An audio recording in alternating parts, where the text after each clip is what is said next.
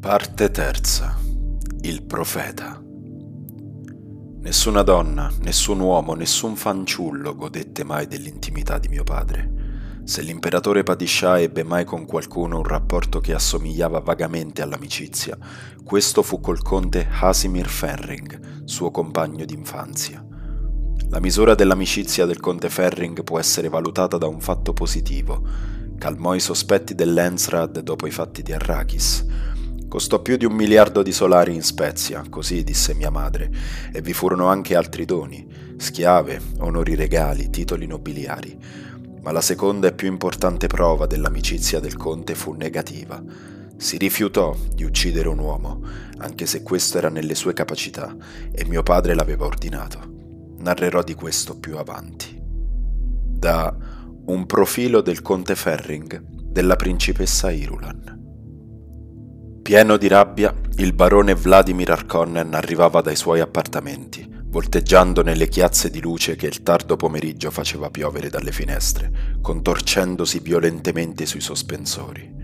Attraversò come un turbine la cucina privata, la biblioteca, la piccola sala dei ricevimenti e l'anticamera della servitù, dove era già l'ora del riposo.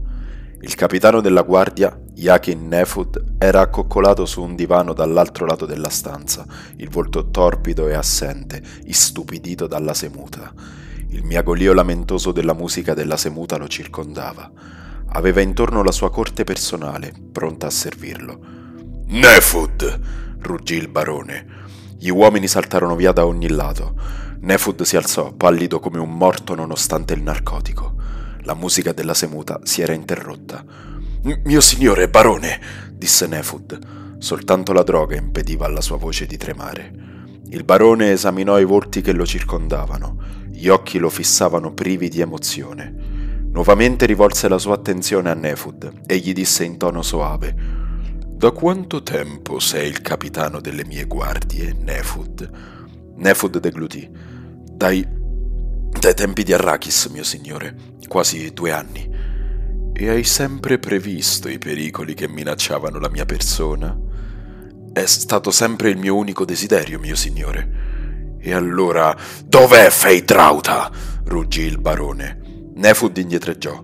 Mio signore? Oh, tu non consideri Feidrauta un pericolo per la mia persona. Nuovamente il tono soave.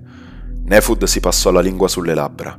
L'istupidimento della semuta si dileguava dai suoi occhi. Fedrauta è nel quartiere degli schiavi, mio signore. Ancora con le donne, eh? Il barone tremò nello sforzo di dominare la rabbia. Sire, forse... Silenzio!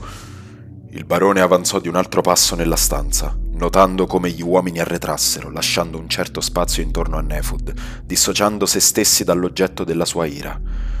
Non ti ho forse ordinato di sapere ad ogni istante dove si trova il Nabarone? gli chiese il barone. Fece un altro passo in avanti. Non ti ho forse ordinato di sapere esattamente tutto quello che si dice e a chi? Un altro passo. Non ti ho forse ingiunto di informarmi di ogni sua visita al quartiere delle schiave? Nefud inghiottì. Gocce di sudore gli imperlavano la fronte. Il barone concluse con voce piatta, impersonale. Non ti avevo detto tutto questo. Nefud annuì. E non ti avevo detto anche di controllare tutti i ragazzi inviati a me e che avresti dovuto farlo personalmente. Ancora una volta Nefud annuì. E non hai visto, per caso, la macchia sulla coscia di quello che mi hai mandato questa sera? È possibile che tu... Zio, il barone si voltò di scatto, fulminando con lo sguardo Feidrauta immobile sulla soglia. La presenza di suo nipote lì, in quel preciso istante, lo sguardo ansioso e il respiro ansante che a stento dissimulava, tutto questo rivelava fin troppe cose, ma soprattutto il sistema di spie che Feidrauta teneva puntato contro di lui. C'è un cadavere nelle mie stanze, portatelo via disse il barone, sfiorando con la mano l'arma a proiettili che aveva sotto la veste, felicitandosi con se stesso che il suo scudo fosse il migliore. Fedrauta lanciò un'occhiata alle due guardie, immobili contro la parete a destra, e annui. I due si precipitarono verso la porta e lungo il corridoio che portava agli appartamenti del barone. Quei due, eh? pensò il barone. Ah, questo giovane mostro ha ancora molto da imparare sulle cospirazioni. Presumo che tutto fosse tranquillo nel quartiere degli schiavi quando l'hai lasciato, Fade, disse. Giocavo a Cheops col maestro degli schiavi, replicò Fade Rauta e pensò: Che cos'è che non ha funzionato? Il ragazzo che gli abbiamo mandato è stato ovviamente ucciso, ma era perfetto per quel lavoro. Lo stesso Awat non avrebbe potuto sceglierlo meglio. Il ragazzo era perfetto. Così giocavi agli scacchi piramide, riprese il barone. Molto bene. Chi ha vinto? Io. Eh, sì, zio. Fedrauta si sforzò di nascondere l'inquietudine. Il barone fece schioccare la lingua. Nefud, vuoi tornare nelle mie buone grazie? Mio signore, che, che cosa ho fatto? balbettò Nefud. Non ha importanza ora, disse il barone. Feid ha battuto il maestro degli schiavi a Cheops, non hai sentito? Sì, signore. Voglio che tu prenda tre uomini e vada dal maestro degli schiavi, continuò il barone. Strangola il maestro degli schiavi. Quando hai finito portami il suo corpo, perché io veda se il lavoro è stato fatto bene. Non possiamo avere un giocatore di scacchi così inetto al nostro servizio. Fedrauta impallidì, fece un passo avanti. Ma zio, io... Più tardi, Fade, l'interruppe il barone, con un cenno della mano. Più tardi. Le due guardie che erano accorse negli appartamenti del barone a prelevare il corpo del giovane schiavo passarono barcollando nell'anticamera col loro carico oscillante, facendo strisciare le braccia sul pavimento. Il barone li seguì con lo sguardo finché non furono scomparsi. Nefud scivolò accanto al barone. Volete che uccida subito il maestro degli schiavi, mio signore? Subito, replicò il barone, e quando avrai finito con lui, aggiungi anche quei due che sono appena passati. Non mi è piaciuto il modo con cui hanno portato il corpo. Queste cose vanno fatte con cura. Voglio vedere anche i loro cadaveri. Nefud disse: Mio signore, se c'è qualcosa che io. Fa come il tuo padrone ti ha ordinato, l'interruppe Feidrauta. E pensò: Tutto quello che posso sperare adesso è di salvare la pelle. Bene, pensò il barone. Ora il ragazzo almeno sa come limitare le perdite. Sorrise e disse tra sé, il ragazzo sa anche compiacermi ed evitare che la mia ira ricada su di lui. Sa che devo preservarlo. A chi altri potrei passare quelle redini che un giorno dovrò abbandonare. Nessun altro è così capace. Ma ha ancora da imparare e devo proteggere me stesso mentre impara. Nefud designò gli uomini che dovevano accompagnarlo e uscì dalla stanza. Ti dispiace accompagnarmi nel mio appartamento, Fade? disse il barone. Sono a tua disposizione. Fedrauta si inchinò pensando mi ha preso. Dopo di te, fece il barone indicando la porta. Fedrauta tradì la sua paura con un attimo di esitazione. Ho sbagliato tutto, si chiese. Mi pianterà forse una lama avvelenata nella schiena, lentamente attraverso lo scudo. Ha forse trovato un altro successore. Che assapori questo istante di terrore, pensò invece il barone, incamminandosi dietro il nipote. Sarà il mio successore, ma sceglierò io il momento. Non gli permetterò di abbattere tutto quello che ho edificato. Feidrauta si sforzò di non camminare troppo rapidamente. Sentì la pelle accapponarglisi sulla schiena, come se il suo stesso corpo si chiedesse quando sarebbe arrivato il colpo. I suoi muscoli si tendevano e si rilassavano continuamente. Non hai sentito le ultime novità su Arrakis? disse il barone. No, zio. Fedrauta lottò per non voltarsi. Scivolò in un altro corridoio, fuori dall'area di servizio. C'è un nuovo capo religioso, un profeta di qualche tipo tra i Fremen, continuò il barone. Lo chiamano Muad'Dib. È buffo, vuol dire il topo. Ho detto a Rabban di lasciare che abbiano la loro religione, li terrà occupati. Molto interessante, zio, disse Feidrauta. Entrò nel corridoio che portava alle stanze private dello zio, chiedendosi perché mai parla di religione? Vuole forse insinuare qualcosa su di me? Già, proprio così, commentò il barone. Entrarono nell'appartamento del barone e attraversarono la sala dei ricevimenti fino alla camera da letto. Vi erano impercettibili tracce di lotta. una lampada a sospensione rovesciata, un cuscino sul pavimento e sul capezzale una bobina ipnotica completamente aperta. Un piano molto intelligente, disse il barone. Mantenne il suo scudo al massimo, si voltò e fronteggiò il nipote. Ma non abbastanza. Dimmi, Fade, perché non mi hai colpito personalmente? Non hai avuto abbastanza occasioni.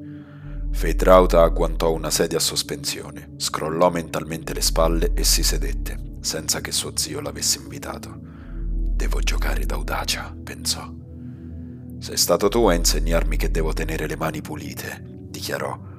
Sì, replicò il barone. Quando ti troverai davanti all'imperatore, devi poter dire in tutta sincerità che non sei stato tu a commettere il delitto la strega dell'imperatore ascolterà le tue parole e saprà subito se sono vere o false. Sì, ti ho avvertito di questo. Perché non hai mai comperato una Bene Gesserit, zio? disse Feidrauta. Con una veridica dalla tua parte, conosci benissimo i miei gusti, replicò bruscamente il barone. Feidrauta l'osservò, poi riprese. Tuttavia, lei ti... Non mi fido di loro, ringhiò il barone e non cambiare argomento. Fedrauta annui umilmente. Come vuoi tu, zio? Mi ricordo di un giorno nell'arena qualche anno fa, riprese il barone. Quel giorno sembrò che uno schiavo fosse stato preparato per ucciderti. Era vero? È stato molto tempo fa, zio. Dopotutto io... Non eludere la domanda, per favore, l'interruppe il barone. Una rabbia crescente risuonò nella sua voce. Fedrauta lo fissò, pensando, lo sa, altrimenti non me l'avrebbe chiesto. Era tutto un imbroglio, zio, per screditare il tuo maestro degli schiavi. Molto astuto, disse il barone, e anche coraggioso. Quel gladiatore per poco non ti ha ucciso, non è vero? Sì. Se la tua astuzia fosse pari al coraggio saresti veramente formidabile. Il barone scosse ostentatamente la testa e come aveva fatto molte volte da quel terribile giorno su Arrakis, rimpianse la perdita di Peter, il Mentat. Era stato un uomo dall'astuzia diabolica e sottile. Tuttavia, questo non era bastato a salvarlo. Ancora una volta il barone scosse la testa. Il destino, a volte, era imperscrutabile. Fedrauta esaminò la stanza, studiando i segni della lotta, e si chiese come suo zio fosse riuscito a sopraffare lo schiavo che avevano preparato con tanta cura. Come sono riuscito a vincerlo? disse il barone. Ah, Fate, lasciami almeno qualche arma per difendere la mia vecchiaia. È meglio che approfittiamo di questi pochi istanti per concludere un patto. Fedrauta lo fissò. Un patto? Allora sono sempre il suo erede, altrimenti perché mai parlerebbe di un patto? Ci si accorda soltanto coi propri pari, o quasi. Un patto, zio, e Fedrauta provò un certo orgoglio per la sua voce calma e ragionevole, che non tradiva l'interna esultanza. Anche il barone apprezzò il suo controllo e annui. Tu sei un'ottima materia prima, Fade, e io non la spreco mai. Ma insisti, tuttavia, a non voler riconoscere il valore che io rappresento per te. Sei ostinato, non vuoi capire perché ti convenga risparmiarmi. Questa Fece un ampio gesto verso i segni della lotta. È stata una follia e io non premio la follia. Arriva al punto, vecchio pazzo, pensò Feidrauta. Tu mi consideri un vecchio pazzo, disse il barone. Ti sbagli. Mi hai parlato di un patto. Ah, l'impazienza dei giovani, sospirò il barone. Bene, ecco il patto allora tu cesserai questi folli attentati alla mia vita e io, quando sarai pronto, abdicherò in tuo favore, mi ritirerò in una posizione di semplice consigliere e ti lascerò il trono. Ritirarti, zio? Pensi sempre a me come un vecchio pazzo, ribatté il barone, e questo lo conferma, non è vero? Sei convinto che ti stia implorando. Stai attento a dove metti i piedi, Fade questo vecchio pazzo ha visto l'ago che avevi piantato nella coscia del ragazzo, proprio dove avrei appoggiato la mano, eh? La più piccola pressione, zac, un ago avvelenato nel palmo del vecchio pazzo. Eh, Fate, Il barone scosse la testa pensando, e avrebbe anche funzionato se Awat non mi avesse avvertito. Bene, lascia pure che il ragazzo si convinca che mi sia accorto del complotto tutto da solo. In un certo senso è vero, io ho salvato Awat dalle rovine di Arrakis e questo ragazzo deve essere più rispettoso con me. Feidrauta lottò in silenzio con se stesso. Ha detto la verità, vuole davvero ritirarsi. E perché no? Sono certo di potergli succedere un giorno, se mi muovo con prudenza. Non può vivere per sempre. Forse è stato stupido da parte mia cercare di affrettare il processo. Hai parlato di un patto, disse Feidrauta. Che garanzie offri? Come possiamo fidarci l'un dell'altro, eh? sogghignò il barone. Bene, Fade, per quanto ti concerne, Tufira Watt ti sorveglierà. Ho piena fiducia nei suoi poteri di Mentat, capisci? Per quanto mi riguarda, invece, dovrei prendermi sulla parola. Ma non posso vivere eternamente, Fade, non è vero? E forse cominci soltanto adesso a sospettare che esistono cose che io so e che anche tu dovresti sapere. Se io do la mia parola, insistette Feidrauta, che cosa mi offri in cambio? Ti offro di continuare a vivere. E di nuovo Feidrauta studiò suo zio. Mi fa sorvegliare da Awat. Che cosa direbbe se gli rivelassi che è stato Awat in persona a ideare lo scherzo del gladiatore che gli è costato il maestro degli schiavi? Probabilmente direbbe che è una menzogna per screditare Awat. No, il bravo Tufir è un mentat e ha previsto tutto questo. Ebbene, che cosa ne dici? chiese il barone. Che cosa posso dire? Accetto naturalmente. E Fedrauta pensò ancora. Awat gioca al centro e mette le estreme una contro l'altra. È così dunque. È forse passato dalla parte di mio zio perché non mi sono consigliato con lui per la faccenda del ragazzo. Non hai fatto commenti sulla sorveglianza da parte di Awat, disse il barone. Fedrauta tradì la sua rabbia dilatando le narici. Il nome di Awat era stato per troppi anni un segnale di pericolo per la famiglia degli Harkonnen e ora aveva un altro significato, sempre mortale. Awat è un giocattolo pericoloso, dichiarò. Giocattolo, non essere sciocco, io so come controllarlo. Awat è soggetto a profonde emozioni, Fate. È l'uomo senza emozioni che dobbiamo temere, ma le emozioni... Ah, chi ha profonde emozioni può essere sempre piegato ai nostri desideri. Zio, non ti capisco. Ma è evidente. Solo un battito di palpebre tradì l'ondata di risentimento di Feidrauta. E quando mai hai capito a Watt? insiste il barone. E tu allora? pensò Feidrauta. Su chi riversa il suo odio, a Watt, per ciò che è diventato? Chiese il barone. Su di me? Certamente, ma lui era uno strumento degli Atreides e mi ha tenuto a bada per molti anni finché non ho avuto l'impero al mio fianco. Così lui vede le cose. Il suo odio per me oggi è una cosa senza importanza. Crede di potermi vincere in ogni momento. E così è lui il vinto, perché dirigo la sua attenzione dove desidero, contro l'impero. Feidrauta corrugò la fronte in un lampo di comprensione. La sua bocca si restrinse in una linea sottile. Contro l'impero. Lascia che tuo nipote lo assapori, pensò il barone. Lascia che dica a se stesso, imperatore Feidraut Arconnen, che si domandi quanto valga tutto questo. Certamente la vita di un vecchio zio capace di realizzarlo. Lentamente Feidrauta si passò la lingua sulle labbra. Possibile che il vecchio pazzo dicesse il vero? C'era molto più di quanto sembrava a prima vista. E Awat, qual è la sua parte in tutto questo? domandò. Crede di usarci come strumenti della sua vendetta contro l'imperatore.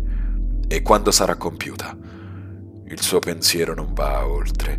Awat è uno di quegli uomini che devono servire gli altri, anche se non lo sa. Ho imparato molto da lui, disse Feidrauta, e sentì la verità di queste parole. Ma più imparo, più mi convinco che dovremmo eliminarlo. E subito. Non ti piace l'idea che ti sorvegli? Awat sorveglia tutti. E potrebbe metterti sul trono. Awat è astuto, ma è anche pericoloso, tortuoso. Eppure non gli toglierò ancora l'antidoto.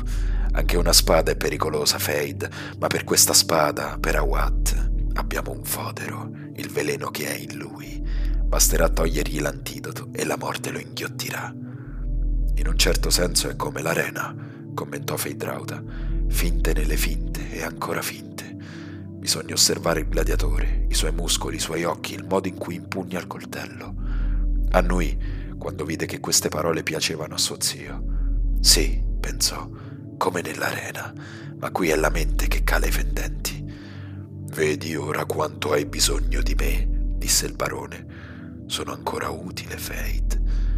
Come una spada che si impugna finché non è del tutto spuntata, pensò Feidrauta. Sì, zio. Ora, continuò il barone, andremo giù nel quartiere degli schiavi e io ti guarderò mentre con le tue mani ucciderai tutte le donne nella stanza del piacere. Zio, ci saranno altre donne, Fate ma voglio che tu non commetta mai un errore con me senza pagarlo. Il volto di Fade si incupì. Zio, tu accetterai la tua punizione e ne farai tesoro, ribatté il barone. Fedrauta incontrò lo sguardo pieno di cupidigia dello zio. Devo ricordarmi di questa notte, pensò, e insieme a questa di molte altre notti. Non ti rifiuterai, disse il barone. Cosa potresti fare se rifiutassi, vecchio? Si domandò Feidrauta. Ma ci sarebbe stato qualche altro castigo, ancora più sottile, qualche altro modo, più doloroso, di piegarlo al suo volere. Ti conosco, Fate, non ti rifiuterai. D'accordo, pensò Feidrauta. Ho bisogno di te adesso, l'ho capito. Il patto è concluso, ma non avrò sempre bisogno di te. E un giorno... Nelle profondità del nostro inconscio c'è un bisogno ossessivo di un universo logico e coerente, ma il vero universo è sempre un passo al di là della logica. Dalla raccolta dei detti di Muad'Dib della principessa Irulan. Molti capi di grandi case si sono seduti davanti a me, disse tra sé Tufirawat, ma non ho mai visto un maiale più osceno e pericoloso di questo. Puoi parlare francamente con me, Awat, tuonò il barone. Era sprofondato nella sua sedia a sospensione. Gli occhi, sepolti tra le pieghe di grasso, sembravano voler trapassare il Mentat. Il vecchio Mentat fece scivolare lo sguardo sul tavolo fra sé e il barone Vladimir Arkonnen e ammirò la grana del legno. Anche questo andava considerato quando si giudicava il barone, insieme con le pareti rosse dello studio privato e col debole odore dolciastro delle erbe che aleggiavano nell'aria, mascherando il cupo sentore di muschio. Non è stato per un semplice capriccio che mi hai fatto inviare quell'avvertimento a Rabban, continuò il barone. Il volto coriaceo di Awat restò impassibile, senza rivelare la minima traccia del suo disgusto. Sospetto molte cose, mio signore, disse. Sì? Ebbene, voglio sapere cosa ha a che fare Arrakis con i tuoi sospetti su Salusa Secundus. Non basta che tu mi abbia detto che l'imperatore si agita a causa di una certa relazione tra Arrakis e il suo misterioso pianeta prigione. Io mi sono affrettato a inviare quell'avvertimento a Raban soltanto perché il corriere partiva con la prima astronave. Tu mi avevi detto che non era urgente. Benissimo, ma ora esigo una spiegazione. Chiacchiera troppo, pensò Awat. Il Ducaleto poteva dirmi una cosa con un semplice gesto della mano o alzando un sopracciglio, e al vecchio duca bastava una sola parola a esprimere un'intera frase. Questo è uno zotico villano. Distruggerlo sarà rendere un servizio all'umanità intera. Non te ne andrai di qui finché non mi avrai dato una completa spiegazione, disse il barone. Voi parlate troppo alla leggera di Salusa Secundus, replicò Awat. È una colonia penale, dichiarò il barone. La peggiore feccia della galassia viene scaraventata su Salusa Secundus. Che cos'altro c'è da sapere? Le condizioni che regnano sul pianeta prigione sono spaventose, disse Awat. Le peggiori dell'intera galassia la mortalità fra i nuovi prigionieri, si afferma, supera il 60%. L'imperatore esercita lassù tutte le forme possibili di oppressione. E voi, che sapete tutto questo, non vi siete mai posto alcuna domanda? L'imperatore non consente alle grandi case di ispezionare la sua prigione, grugnì il barone. D'altra parte, neppure lui ha mai visto le mie segrete. E ogni curiosità a proposito di Salusa Secundus, continuò Watt, portando l'indice magro e ossuto alle labbra, è scoraggiata. Perché l'imperatore non è affatto fiero di alcune cose che è costretto a fare lassù. A Watt consentì che l'ombra di un sorriso gli sfiorasse le labbra macchiate. I suoi occhi scintillarono alla luce della lampada mentre fissava il barone. E voi non vi siete mai chiesto dove l'imperatore trova i suoi Sardaukar? Barone strinse le labbra grassocce. Così assomigliò a un bambino che tenesse il broncio. Replicò in tono petulante. Ma perché mai? Li recluta, voglio dire, il servizio di leva, gli arruolamenti. Ah! l'interruppe a Watt. Le storie che si sentono sulle prodezze dei Sardaukar non sono voci, vero? Sono rapporti di prima mano dei pochi sopravvissuti che li hanno affrontati, non è così? I Sardaukar sono eccellenti soldati, non c'è dubbio, disse il barone, ma io sono convinto che anche le mie legioni una massa di escursionisti spensierati al confronto, ringhiò Awat. Credete che io non sappia per quale ragione l'imperatore si è scagliato contro la casa Atreides? Questo non è un argomento per le tue speculazioni, esclamò il barone. È possibile che neppure lui conosca i veri motivi dell'imperatore? si chiese a Watt. Qualsiasi argomento è aperto alle mie speculazioni, ribatté, se ha una relazione anche minima con l'incarico che voi mi avete affidato. Io sono un Mentat, non si nasconde alcuna informazione, alcun dato a un Mentat. Per un lungo minuto il barone lo fissò in silenzio, poi annui. Di quello che devi dire, Mentat. L'imperatore Padishah si è scagliato contro la casa degli Atreides perché i maestri di guerra del duca, Gurney Halleck e Duncan Idaho, avevano addestrato un'unità di combattimento, una piccola unità, il cui valore sfiorava quello dei Sardaukar. Alcuni uomini erano perfino migliori, e il duca stava per accrescere questa unità, rendendola potente quanto le forze dell'imperatore. Il barone soppesò la rivelazione e poi... Qual è la parte di Arrakis in tutto questo? Il pianeta è una fonte di reclute già condizionate e addestrate a sopravvivere nelle condizioni più difficili. Il barone scosse la testa. è possibile che tu intenda i Fremen? Intendo proprio i Fremen. Ah! E allora perché avvertire Rabban? Dopo il pogrom dei Sardaukar e la repressione di Rabban è rimasto soltanto un pugno di Fremen. Awat lo fissò in silenzio. Soltanto un pugno, ripeté il barone. Solo l'anno scorso Rabban ne ha uccisi 6.000. E tuttavia Awat continuava a fissarlo. E l'anno prima 9.000. E i Sardaukar prima di andarsene devono averne massacrati almeno 20.000. Quali sono state le perdite di Rabban negli ultimi due anni? chiese a Watt. Il barone si sfregò una guancia. Beh, ha la mano piuttosto pesante nel reclutare, a dire il vero. I suoi agenti fanno promesse stravaganti e... Trentamila? disse a Watt. Ah, questo mi sembra un po' troppo, cominciò il barone. Al contrario, esclamò Watt.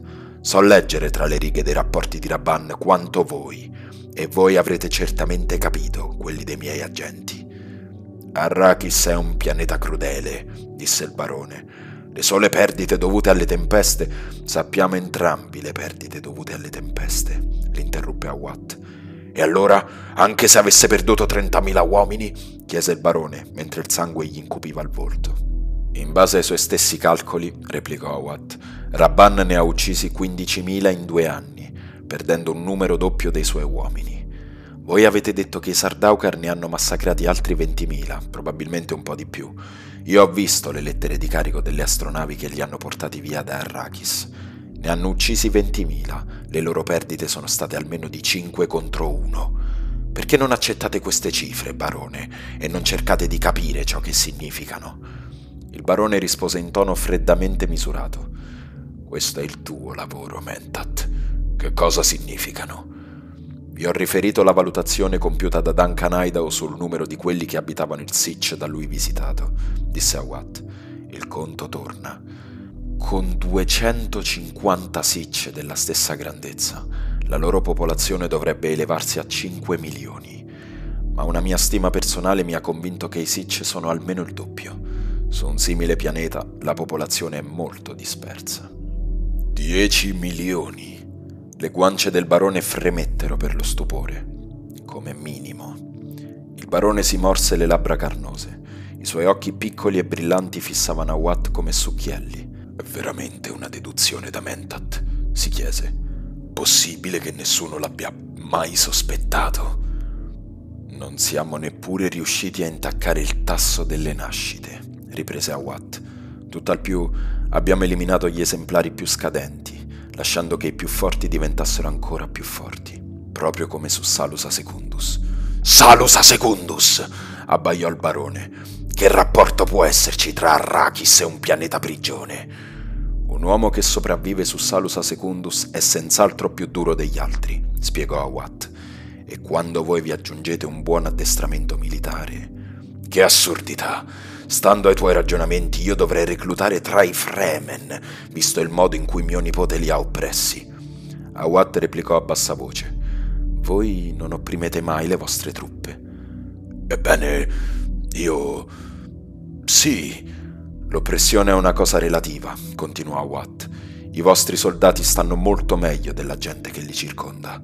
Hanno sotto gli occhi alternative assai meno piacevoli per chi non è soldato del barone, non è vero? Il barone riflette in silenzio, lo sguardo vacuo.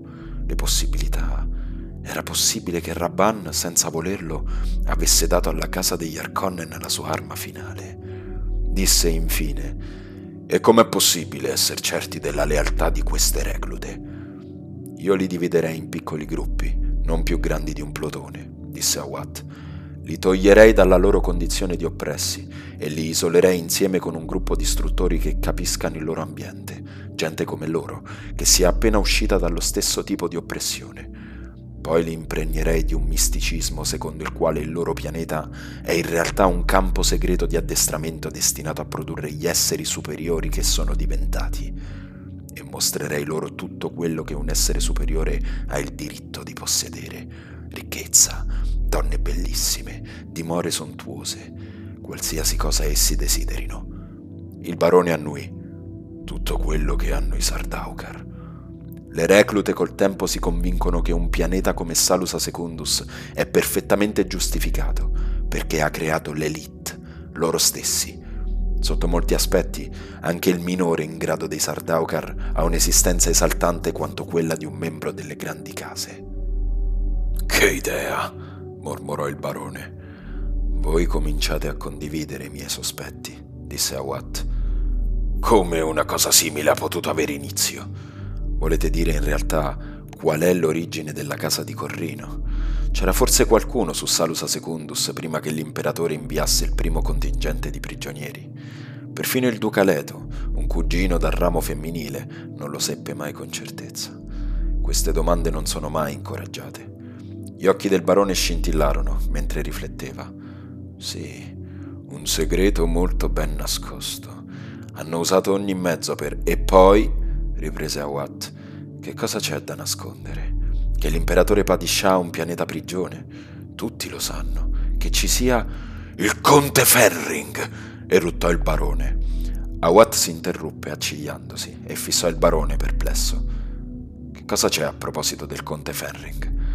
Per il compleanno di mio nipote, qualche anno fa, disse il barone, questo lacchè dell'imperatore, il conte Ferring, era venuto come osservatore ufficiale per sì, per concludere un accordo tra l'imperatore e me. E con questo, io, durante una delle conversazioni, credo di aver detto qualcosa sulla possibilità di trasformare Arrakis in un pianeta prigione. Ferring, che cosa ha detto esattamente? chiese Awat.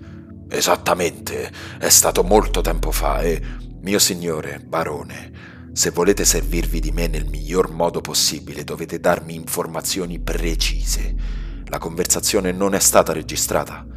Il barone diventò paonazzo per la rabbia. Sei perfido come Peter. Non mi piacciono questi. Peter non è più al vostro fianco, mio signore, disse Awat. A proposito, che cosa è successo a Peter? Era diventato troppo sfacciato, esigente, replicò il barone. Voi mi avete garantito che non avete mai sciupato un uomo che vi fosse utile, continuò Watt. Volete sciuparmi con minacce e inganni? stavamo parlando di quello che voi avete detto al conte Ferring. Lentamente il barone si ricompose. Quando verrà il momento, si disse, mi ricorderò della tua maleducazione. Oh, sta pur sicuro che mi ricorderò. Un momento, disse, e ripensò all'incontro nel grande atrio. Cercò di visualizzare il cono di silenzio nel quale si erano trovati. Ho detto all'incirca questo. L'imperatore sa che un certo numero di morti ha sempre fatto parte degli affari. Mi riferivo alle perdite tra le nostre squadre di lavoro.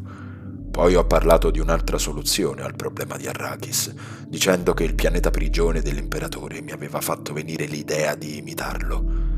Sangue di strega, imprecò Watt. E Ferring che cosa ha risposto? A questo punto ha cominciato a chiedermi informazioni su di te. Awat sprofondò nella sedia, chiudendo gli occhi. Così è per questo che hanno incominciato a interessarsi di Arrakis.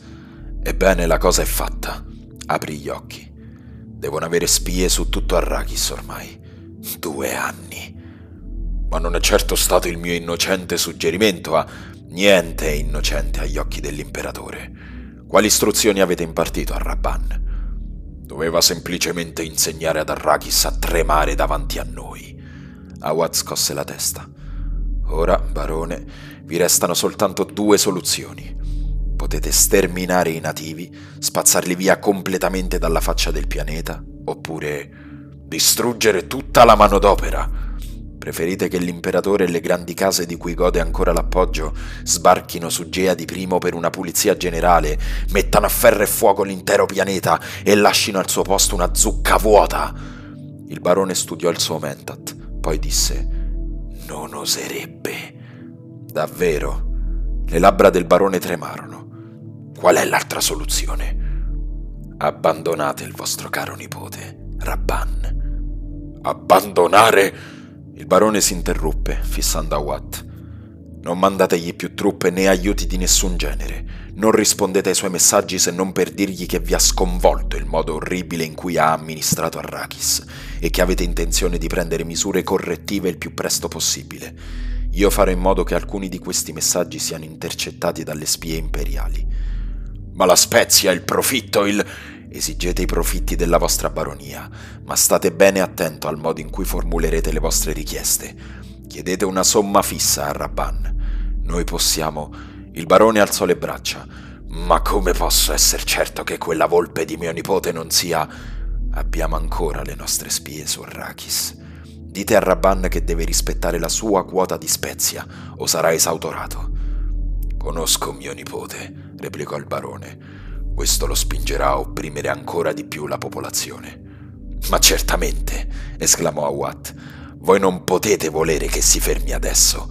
Voi volete soltanto una cosa, le mani pulite. Lasciate dunque che sia Rabban a creare per voi questo nuovo Salusa Secundus. Non c'è neppure bisogno di mandargli i prigionieri. Ha a sua disposizione tutto il popolo di Arrakis. Se Rabban spremerà la sua gente per rispettare la quota di spezia, l'imperatore non avrà più alcuna ragione di sospettare altri motivi. La spezia è più che sufficiente per mettere alla tortura un intero pianeta. Quanto a voi, barone, non una sola parola o un solo atto che smentiscano questa convinzione. Il barone non riuscì a cancellare una nota di ammirazione nella propria voce. Ah, what? Quanto sei tortuoso! Ma come potremo penetrare in Arrakis e impadronirci di quello che Rabban ci sta preparando? È la cosa più semplice, barone. Se ogni anno voi aumenterete la quota rispetto all'anno precedente, le cose raggiungeranno presto il limite. La produzione precipiterà a zero. Voi potrete esautorare Rabban e prendere il suo posto per rimediare al disastro.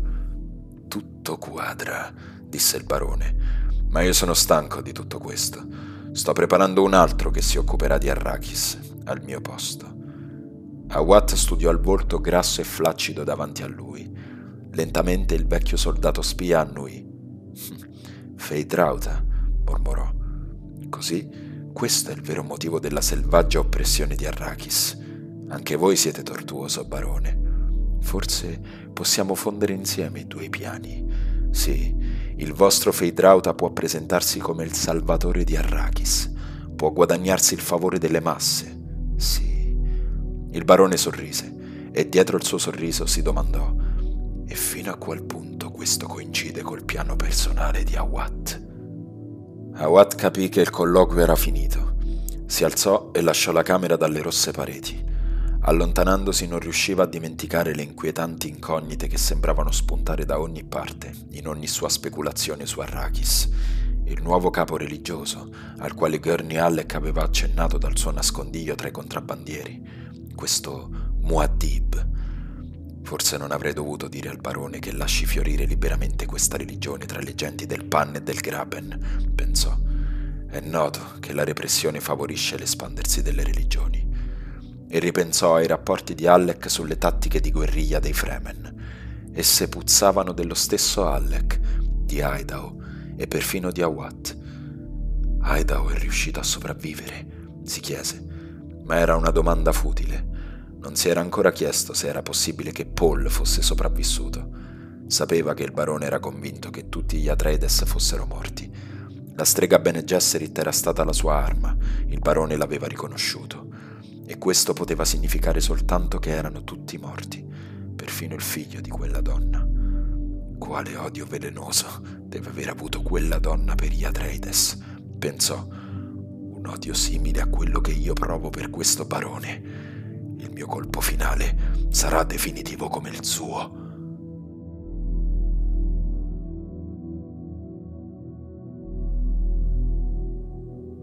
Tutte le cose c'è un ritmo che è parte del nostro universo. Asimmetria, eleganza e grazia, le qualità in cui si coglie il vero artista. È il ritmo delle stagioni, il modo in cui la sabbia modella una cresta. Sono i rovi creosoto e il profilo delle foglie. Noi cerchiamo di copiare questi disegni, di trasferirli nelle nostre vite e nella nostra società, di farne rivivere il ritmo, la danza che ci riconfortano. E tuttavia un pericolo si nasconde nella perfezione finale. È chiaro che lo schema ultimo contiene la sua propria fissità. In questa perfezione ogni cosa procede verso la morte. Dalla raccolta dei detti di Muad'Dib della principessa Irulan. Paul Muad'Dib ricordò un pasto carico di spezia. Si afferrò a quel ricordo, che era l'unico ancoraggio sicuro. In base ad esso poteva dirsi che il momento presente doveva essere un sogno. Io sono la scena degli eventi, pensò. Io sono vittima di una visione imperfetta della coscienza razziale e del suo terribile scopo. E tuttavia non poteva sfuggire alla paura di essersi in qualche modo superato, di aver perduto la sua posizione nel tempo. Il passato, il presente e il futuro si mescolavano confusamente era una specie di affaticamento visivo, il quale era dovuto, lo sapeva, alla necessità costante di mantenere la sua prescienza del futuro come una sorta di ricordo, qualcosa di intrinsecamente legato al passato. Ciani mi ha preparato la cena, si disse, e tuttavia Ciani era nel profondo sud, nel gelido paese dove il sole bruciava, nascosta in una delle nuove roccaforti Sitch, al sicuro con suo figlio, Leto II. O forse era una cosa non ancora accaduta. No, si rassicurò, poiché Alia la strana, sua sorella, era anche lei laggiù, con sua madre e con Ciani, un viaggio di venti martellatori verso sud, in un palanchino da reverenda madre, fissato al dorso di un creatore selvaggio. Scacciò il pensiero di cavalcare il verme gigante e si chiese, o forse Alia non è ancora nata. Una razzia, ricordò Paul ci siamo precipitati a recuperare l'acqua dei nostri morti ad Arrakin e io ho trovato i resti di mio padre sulla pira funeraria. Ho edificato un tempio per il teschio di mio padre nella roccaforte dei Fremen che guarda il passo di Arg. O forse non è ancora accaduto. Le mie ferite sono reali, le mie cicatrici sono reali e anche l'altare col teschio di mio padre è reale. Ancora immerso nel sogno, Paul si ricordò che Ara, la donna di Jamis, un giorno si era precipitata da lui per annunciargli che vi era stato uno scontro nel corridoio del Sitch. Questo era stato nel primo Sitch, quando le donne e i fanciulli non erano ancora stati inviati nel profondo sud. Ara era comparsa sulla soglia della stanza interna, le ali nere dei suoi capelli corvini spinte all'indietro e legate da una catena di anelli d'acqua. Aveva scostato violentemente i tendaggi per dirgli che Chani aveva appena ucciso qualcuno. Questo è realmente accaduto, si disse Paul. Non è fatto del mio tempo, non sarà più cambiato. Paul ricordò di essersi precipitato fuori. Aveva incontrato Chani sotto i globi gialli del corridoio, avvolta in una tunica azzurra, il cappuccio gettato all'indietro, ansante, il suo viso da elfo rosso per lo sforzo sostenuto. Stava infilando il Chris nel fodero. Un gruppo d'uomini si allontanava in fretta, calcandosi nel corridoio, con un fardello. Si ricordò di aver pensato, si capisce subito quando c'è un corpo da trasportare. Gli anelli d'acqua di Ciani tintinnarono quando la fanciulla si voltò verso di lui. Li portava liberamente nel sitch, intorno al collo. Ciani, che cosa è accaduto? Ho eliminato qualcuno che era venuto a sfidarti, Usul. Tu lo hai ucciso? Sì, ma forse avrei dovuto lasciarlo ad Ara. E Paul si ricordò della gente intorno a lui, che aveva mostrato di apprezzare queste parole. Perfino Ara era scoppiata a ridere. Ma era venuto a sfidare me. Tu mi hai insegnato l'arte magica, Usul. Certo, ma tu non... Sono nata nel deserto, Usul. So usare un Chris. Paul dominò la collera e si sforzò di parlare con calma tutto questo è senz'altro vero, Ciani, ma non sono più una bambina che dà la caccia agli scorpioni nel Sitch, alla luce di un globo portatile, Usul. Non gioco più. Paul la fissò, corrucciato, colpito dall'improvvisa ferocia rivelata con tanta disinvoltura. Non meritava di sfidarti, Usul, disse Ciani. Non avrei disturbato la tua meditazione per uno come lui. Gli si avvicinò, lo guardò di sfuggita e la sua voce divenne un mormorio. E poi, mio amato, quando si saprà che un uomo ha incontrato me e ha fatto una fine ignominiosa per mano della donna di Muad'Dib, saranno ben pochi quelli che oseranno sfidarti. Sì, pensò Paul, questo è certamente accaduto. È il passato autentico. E il numero di quelli che volevano sfidare la nuova lama di Muad'Dib è diminuito drasticamente. In qualche luogo, in un mondo che non apparteneva al sogno, ci fu un movimento, il grido di un uccello notturno. Io sto sognando, si disse Paul. È il cibo a base di spezia. Tuttavia, provava ancora questa sensazione di abbandono. Si chiese se non fosse possibile che il suo spirito Ru fosse in qualche modo scivolato nel mondo in cui, secondo i Fremen, egli aveva la sua vera esistenza, la Lam al-Mital, il mondo delle similitudini, quel reame trascendente in cui ogni limitazione fisica era annullata. Al pensiero di quel mondo ebbe paura, perché la mancanza di ogni limitazione significava la scomparsa di tutti i punti di riferimento. In questo mitico universo era impossibile orientarsi e dire io sono io perché io sono qui. Sua madre gli aveva detto una volta, il popolo è diviso, almeno una parte non sa cosa pensare di te. Devo essere sul punto di svegliarmi, pensò Paul, poiché questo era accaduto. Erano le precise parole di sua madre, Lady Jessica, ora reverenda madre dei Fremen. Queste parole appartenevano alla realtà. Jessica temeva i legami religiosi che si erano instaurati tra lui e i Fremen. Paul lo sapeva. Non le piaceva sapere che il popolo dei Sitch e quello del Graben si riferivano a Muad'Dib come lui. Lei stessa non cessava di interrogare le tribù, disseminando le sue saiaddine, raccogliendo le loro risposte e meditando malinconicamente su di esse. Gli aveva citato un proverbio Bene Gesserit. Quando religione e politica viaggiano sullo stesso carro, i viaggiatori pensano che niente li possa fermare. Vanno sempre più rapidi, rapidi, rapidi non pensano agli ostacoli e si dimenticano che un precipizio si rivela sempre troppo tardi. Paul ricordò di essersi seduto nell'appartamento di sua madre, nella stanza più interna tappezzata di cupi tendaggi ricamati con disegni ispirati alla mitologia Fremen. L'aveva ascoltata, a lungo, notando il modo in cui lei osservava instancabilmente, anche quando abbassava gli occhi. Il suo volto ovale aveva nuove pieghe agli angoli della bocca, ma i suoi capelli risplendevano ancora come il bronzo. I suoi grandi occhi verdi, tuttavia, erano velati dalla sfumatura azzurra della spezia. I Fremen hanno una religione semplice e pratica, lui aveva replicato. nessuna religione è semplice, lei l'aveva avvertito. Ma Paul, considerando il futuro denso di nubi tempestose che incombevano su di loro, fu travolto dall'ira. Riuscì a dire soltanto la religione unifica le nostre forze, è la nostra mistica. Tu coltivi deliberatamente questa atmosfera, lo accusò lei. Non smetti mai di indottrinarli. È quello che mi ha insegnato. Ma quel giorno Jessica era piena di rimproveri e di contraddizioni. Vi era stata la cerimonia della circoncisione del piccolo Leto. Paul aveva capito alcune delle ragioni per cui era sconvolta. Sua madre non aveva mai accettato il suo legame, il matrimonio di gioventù con Ciani. Ma Ciani aveva generato un figlio agli Atreides e Jessica non aveva potuto rinnegare il figlio con la madre. Sotto il suo sguardo Jessica aveva reagito. Tu pensi che io sia una madre snaturata? Certamente no. Vedo come mi guardi quando sono con tua sorella.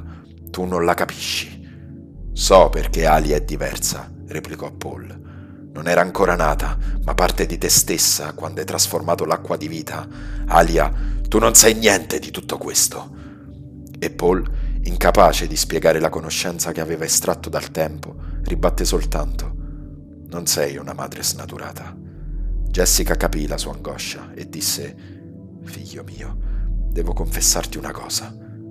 Sì? Voglio bene alla tua Ciani. La accetto. Questo era reale, si disse Paul. Non era una visione imperfetta che gli stessi dolori del parto del tempo avrebbero potuto cambiare. Questa sicurezza gli garantì una solida presa sul mondo. Frammenti di realtà comparvero nel suo sogno. Seppe bruscamente di trovarsi in uno Yereg, un accampamento nel deserto. Ciani aveva piantato la sua tenda distillante sulla sabbia farinosa, così morbida.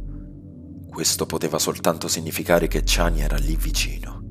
Ciani, la sua anima, la sua siaia, dolce come la primavera del deserto, Ciani tra i palmeti del profondo sud. Ora ricordò la canzone delle sabbie che aveva scelto per l'ora del sonno. Anima mia, non voglio il paradiso questa notte, ma giuro per Shaiolud che ci andrai ugualmente, ubbidendo al mio amore.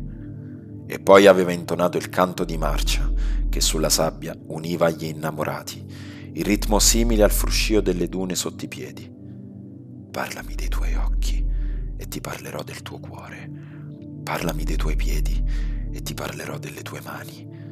Parlami del tuo sonno e ti parlerò del tuo risveglio. Parlami dei tuoi desideri e ti parlerò della tua sete.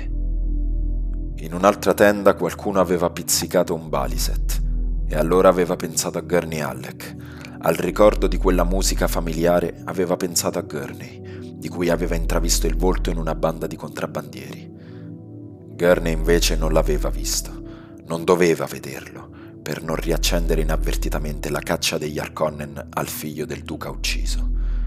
Ma lo stile di colui che suonava quella notte, il tocco delicato di quelle dita sulle corde del baliset risvegliarono un nome nella memoria di Paul. Quello di Chat il Saltatore, capitano dei Fedaikin, i commandos suicidi cui era affidata la salvezza di Muad'Dib. Siamo nel deserto, si ricordò, nell'Erg centrale, al di là delle pattuglie degli Arconnen. Sono qui per camminare sulla sabbia, per attirare il creatore e cavalcarlo grazie alla mia astuzia e provare che io sono totalmente un Fremen. Sentì la presenza della pistola Maula alla cintura e del Chris e intorno a sé percepì il silenzio. Era quel silenzio particolare che prelude al mattino, quando gli uccelli notturni si sono già ritirati e le creature del giorno non hanno ancora annunciato il loro risveglio al nemico, il sole. Devi cavalcare sulla sabbia alla luce del giorno, perché Shayulut veda e sappia che non hai paura. Questo gli aveva detto Stilgar. Così cambieremo le nostre usanze e dormiremo di notte. Lentamente Paul si sollevò. La tuta distillante gli pendeva slacciata sul corpo. Più avanti la tenda era soltanto un'ombra. Si mosse silenziosamente e tuttavia Ciani lo udì. Parlò dal buio della tenda, ombra nell'ombra. Non è ancora giorno del tutto, mio amato. Sì, Aya, disse Paul sorridendo. Tu mi chiami la primavera del deserto, replicò Ciani, ma oggi io sarò il tuo pungolo. Oggi io sono la Sayadina e veglierò che i riti siano rispettati. Paul cominciò ad allacciarsi la tuta. Mi hai ripetuto una volta le parole del Kitab Alibar. La donna è il tuo campo. Vai dunque al tuo campo e coltivalo. Io sono la madre del tuo primogenito. La vide nella grigia penombra che imitava i suoi gesti, stringendo la tuta distillante per il deserto. Dovresti riposare il più possibile, gli disse Ciani. Sentì l'amore nelle sue parole e la rimproverò scherzando. La Sayaddina che osserva non dovrebbe mettere in guardia il candidato. Lei scivolò al suo fianco e gli appoggiò una mano sulla guancia. Oggi io sono quella che osserva, ma anche la tua donna. Avresti dovuto lasciare questo compito a un'altra, disse Paul. L'attesa è troppo terribile. Preferisco essere al tuo fianco. Paul le baciò la mano prima di sistemarsi la tuta sul viso, poi si voltò e tolse la chiusura alla tenda.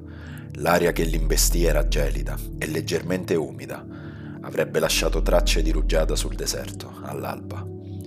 Aveva il profumo della massa prespezia, quella che avevano scoperta poco lontano, a nord-est, e che aveva rivelato la vicinanza di un creatore. Paul strisciò fuori dall'apertura a sfintere, si rizzò sulla sabbia e contrasse i muscoli per scacciare l'ultima traccia di sonno. Una lieve luminescenza verde perlacea si disegnava sull'orizzonte, a est. Nella penombra, le tende della sua gente erano come tante piccole dune. Colse un movimento alla sua sinistra, le sentinelle, e seppe che lo avevano visto. Sapevano il pericolo che lui avrebbe affrontato oggi. Tutti i Fremen lo avevano affrontato. Gli accordavano ancora qualche istante di solitudine perché potesse meglio prepararsi. Deve essere fatto oggi, si disse. Pensò al potere che brandiva contro il pogrom, i vecchi che ora gli inviavano i propri figli perché li addestrasse al suo magico modo di combattere, i vecchi che lo ascoltavano in consiglio e che seguivano i suoi piani, e che poi ritornavano a fargli il massimo complimento possibile per un Fremen. Il tuo piano è riuscito, Muad'Dib. Tuttavia il più piccolo, il più meschino tra i guerrieri Fremen era capace di una cosa che lui non aveva mai fatto e Paul sapeva che la sua autorità ne soffriva per questo, poiché tutti sapevano la differenza tra lui e loro. Non aveva mai cavalcato un creatore. Oh, certo, era montato in groppa con gli altri, in viaggi di addestramento, incursioni, ma non aveva mai viaggiato da solo. Finché non lo avesse fatto, il suo universo sarebbe stato limitato dall'abilità degli altri. Era una cosa, questa, che un vero Fremen non avrebbe mai supportato. Finché non l'avesse fatto, i vasti territori del sud, circa 20 martellatori oltre l'Erg, gli sarebbero stati proibiti, a meno che non ordinasse un palanchino, assoggettandosi a viaggiare come una reverenda madre o un ammalato grave. Si ricordò della lunga lotta combattuta durante la notte con la sua coscienza interiore. Colse uno strano parallelismo. Se avesse dominato il creatore, il suo potere si sarebbe rafforzato se avesse dominato il suo occhio interiore, avrebbe avuto allora un nuovo potere su se stesso. Ma al di là vi era la zona nebbiosa, la grande turbolenza che sembrava impadronirsi di tutto l'universo. Era ossessionato dai diversi modi in cui percepiva l'universo, confuso e preciso nello stesso tempo. Lo vide in situ e tuttavia quando era nato, quando le pressioni della realtà cominciavano ad agire sul tempo, il presente acquistava una propria vita e cresceva con le sue differenze sottili e sfuggenti. Il terribile scopo incombeva e con esso la coscienza razziale e sopra ogni cosa il jihad, sanguinoso e selvaggio. Ciani lo raggiunse fuori dalla tenda, le braccia strette sul petto. Lo guardò di sfuggita, come faceva sempre per indovinare il suo stato d'animo. Parlami ancora delle acque del tuo mondo, Usul, gli disse. Paul capì che tentava di distrarlo, di liberare la sua mente da ogni tensione prima della prova mortale. Il cielo era sempre più chiaro e alcuni dei suoi fedai kin stavano già ripiegando le tende. Preferirei che tu mi parlassi del Sitch e di nostro figlio, disse Paul. Il nostro leto tiranneggia sempre mia madre.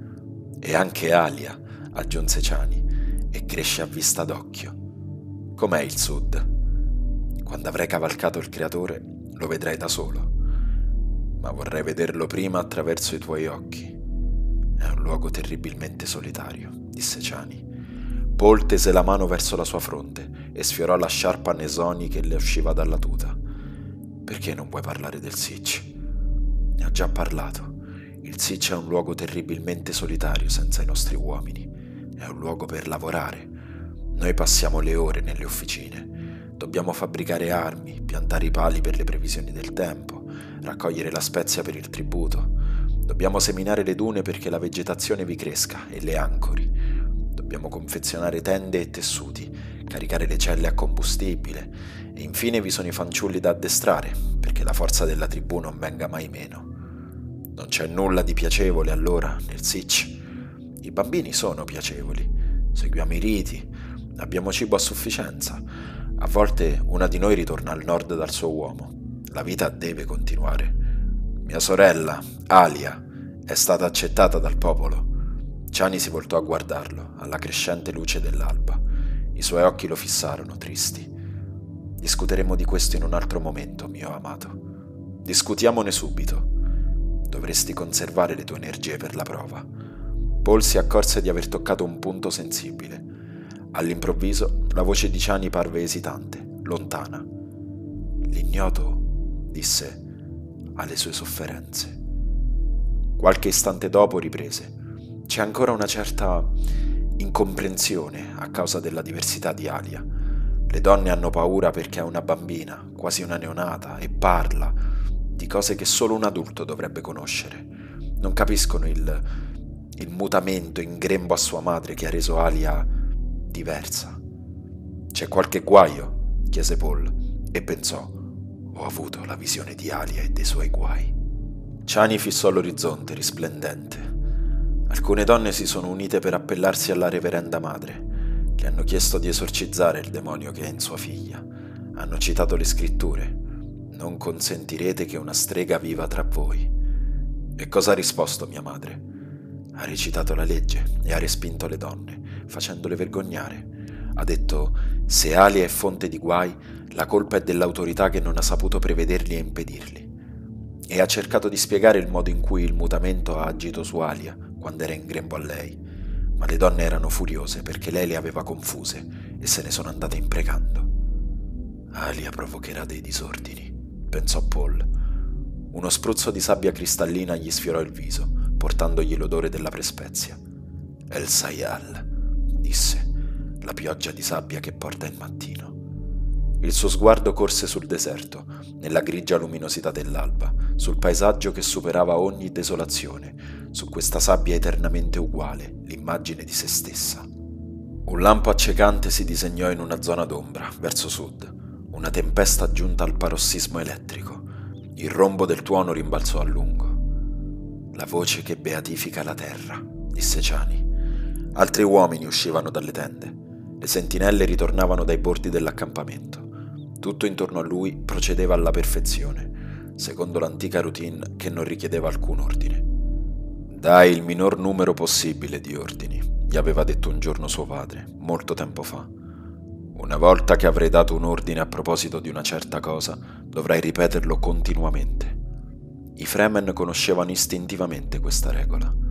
Il maestro dell'acqua della truppa intonò il canto del mattino e vi aggiunse le parole rituali per l'iniziazione di un nuovo cavaliere delle sabbie.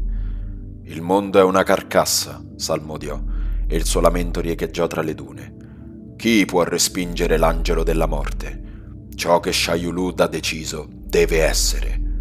Paul ascoltò. Queste erano le stesse parole con cui si iniziava il canto della morte dei suoi Fedaikin, quello che intonavano lanciandosi nella battaglia. Vi sarà un nuovo mausoleo di roccia oggi, per celebrare la dipartita di un'altra anima, si chiese Paul. Forse i Fremen faranno tappa qui nel futuro, aggiungendo un'altra pietra e pensando a Muad'Dib che morì in questo luogo. Sapeva che questa era una delle alternative possibili, uno dei fatti che si irradiavano nel futuro a partire da quel punto preciso dello spazio-tempo. La visione imperfetta lo tormentava.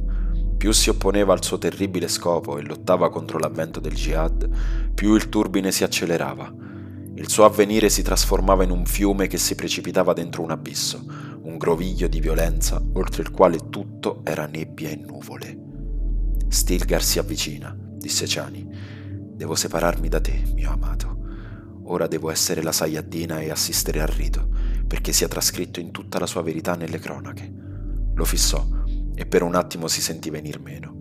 Poi riacquistò il controllo. Quando tutto questo sarà finito, ti preparerò la colazione con le mie stesse mani. Poi si voltò, allontanandosi.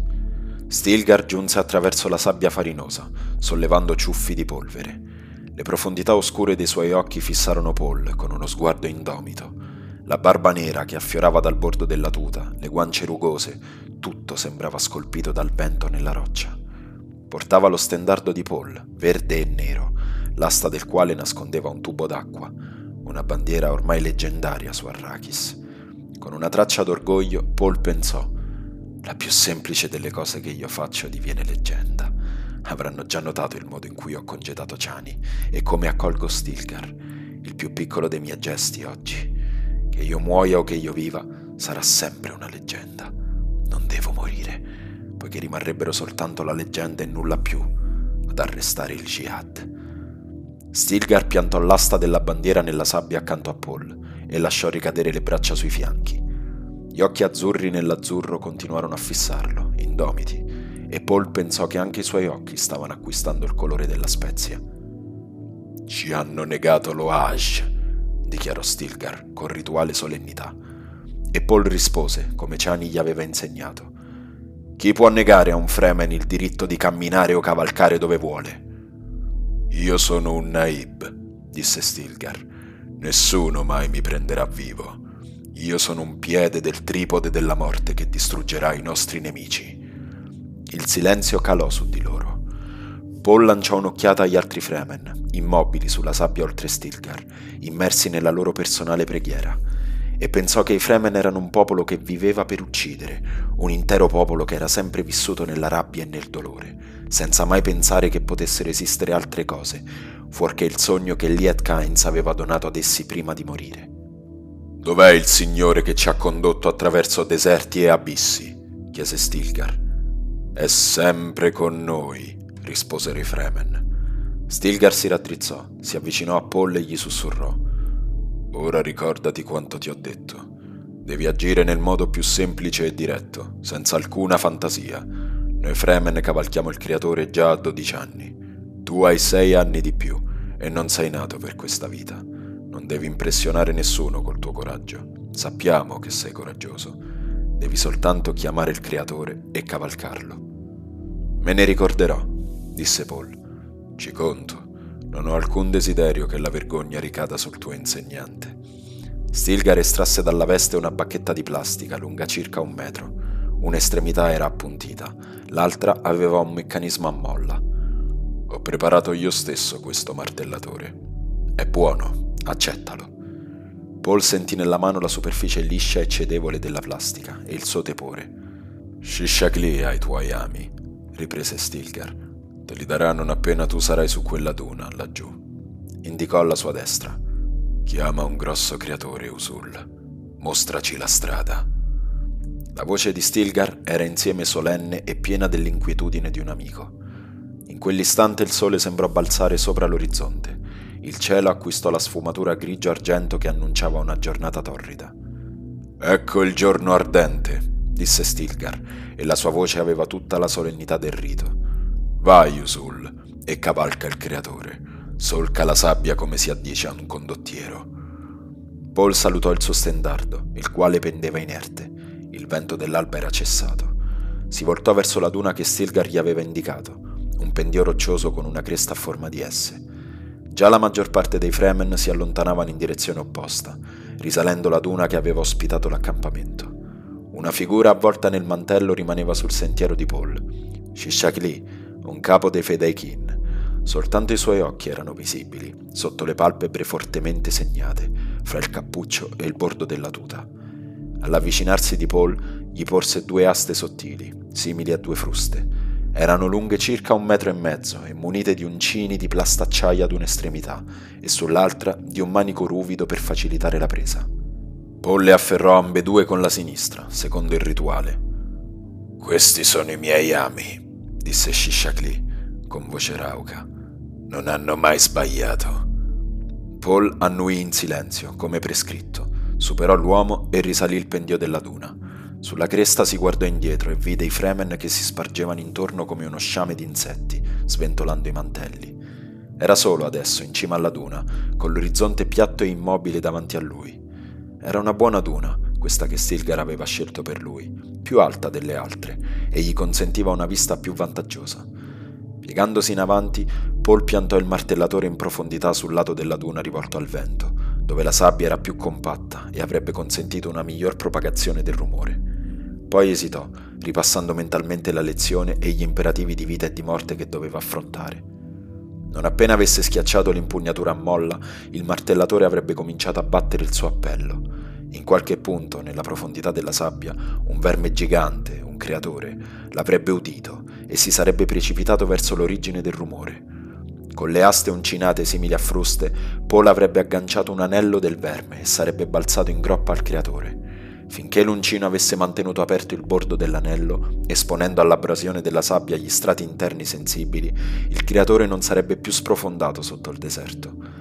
Al contrario, avrebbe sollevato il suo corpo gigantesco arcuandolo nel tentativo di allontanare il più possibile dalla superficie sabbiosa il segmento aperto. Sono un cavaliere delle sabbie, si disse Paul. Fissò gli uncini che stringeva nella mano sinistra. Pensò che avrebbe dovuto soltanto farli scivolare lungo i fianchi ricurvi del gigantesco creatore, per far sì che il verme contraesse il corpo e si curvasse su quel lato, e per poi guidarlo dove voleva. Aveva già visto questa manovra, lo avevano già fatto salire sul fianco di un verme per brevi cavalcate di allenamento. Il verme catturato poteva essere cavalcato finché non si arrestava esausto tra le dune, e allora bisognava chiamare un nuovo creatore.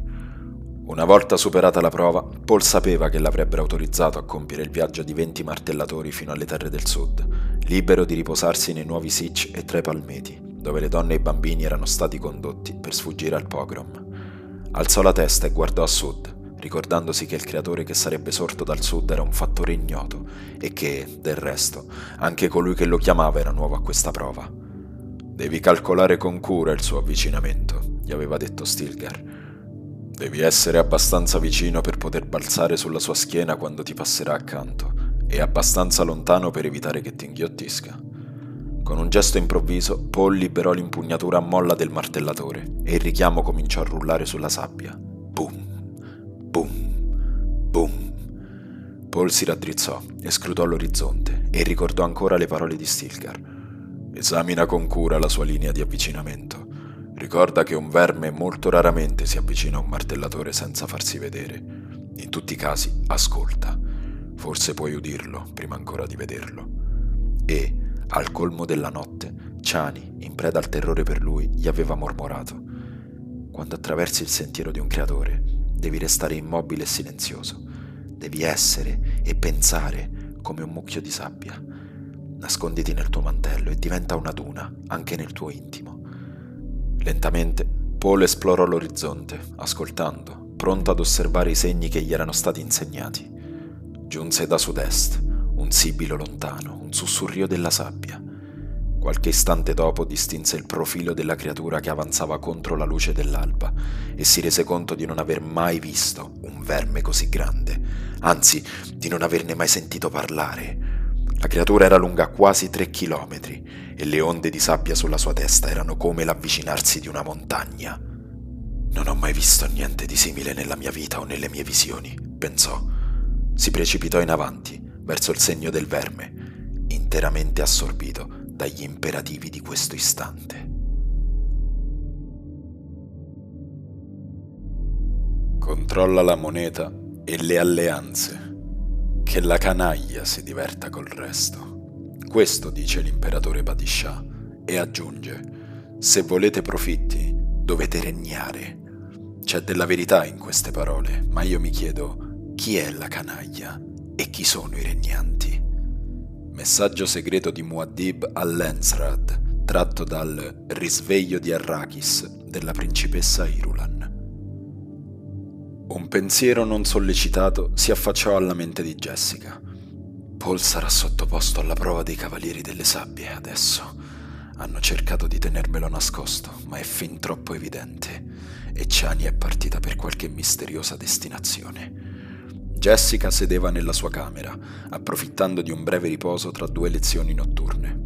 Era una stanza piacevole, ma non così vasta come quella che l'aveva ospitata al Sich Tabar, prima della loro fuga dal pogrom. Tuttavia, i tappeti erano soffici, come pure i cuscini, e vi erano un basso tavolino da caffè e tende multicolori alle pareti. Alcuni globi luminosi irradiavano una dolce luminosità gialla. La stanza era impregnata dell'acre, antico odore dei Fremen, un odore che Jessica aveva finito per associare a un senso di sicurezza. E tuttavia sapeva che non sarebbe mai riuscita a superare la sensazione di trovarsi in un luogo straniero, e questa differenza nessun tappeto, nessuna tenda multicolore poteva cancellarla. Un debole rullio, un tintinnio le giunsero. Riconobbe il rito che celebrava un parto, quello di Subiai probabilmente, il suo momento si avvicinava. Jessica sapeva che molto presto le avrebbero portato il bambino, un cherubino dagli occhi azzurri, perché la reverenda madre lo benedicesse. Sapeva inoltre che sua figlia, Alia, partecipava alla celebrazione e le avrebbe riferito ogni particolare. Non era ancora il momento di recitare le preghiere serali della separazione non avrebbero iniziato la celebrazione di una nascita a poca distanza dalle cerimonie in cui avrebbero pianto le razzie di schiavi su Poritrin, Belategeusi, Rossac e Harmontep. Jessica sospirò. Sapeva che tentava di non pensare a suo figlio e ai pericoli che doveva affrontare. I pozzi trappola con gli spuntoni avvelenati, le incursioni degli Arconnen, anche se un po' alla volta queste diventavano più rare, grazie alle nuove armi che Paul aveva procurato ai Fremen per abbattere velivoli e predatori e infine i pericoli naturali del deserto, i creatori, la sete e i crepacci di sabbia. Pensò di chiamare qualcuno per il caffè e nello stesso tempo rifletté sul paradosso rappresentato dal modo di vivere dei Fremen, alla comodità di questi Sitch nelle caverne, al confronto dei Pion del Graben, e ancora come resistessero molto più di un qualsiasi mercenario Arconnen ad uno Hashr nel deserto. Una mano bruna si infilò fra le tende al suo fianco, depose una tazza sul tavolino e si ritirò. Dalla tazza si alzò l'aroma del caffè di Spezia. Un'offerta per la celebrazione della nascita, pensò Jessica. Prese la tazza e sorseggiò il caffè, sorridendo a se stessa. In quale altra società dell'universo una persona nella mia posizione potrebbe accettare una bevanda anonima e berla senza paura? si chiese. Ora potrei mutare qualsiasi veleno prima che mi faccia del male ma il donatore non lo sa. Sorseggiò il caffè caldo e delizioso, assaporando l'energia e il vigore della bevanda, e si chiese quale altra società avrebbe avuto un riguardo così naturale per la sua intimità e per il suo conforto, al punto che il donatore si intrometteva nella sua stanza solo per l'attimo sufficiente a depositare il dono, senza neppure presentarsi a lei. Il dono proveniva dal rispetto e dall'amore, con soltanto una leggerissima punta di paura. Poi un nuovo elemento si chiarì nella sua mente.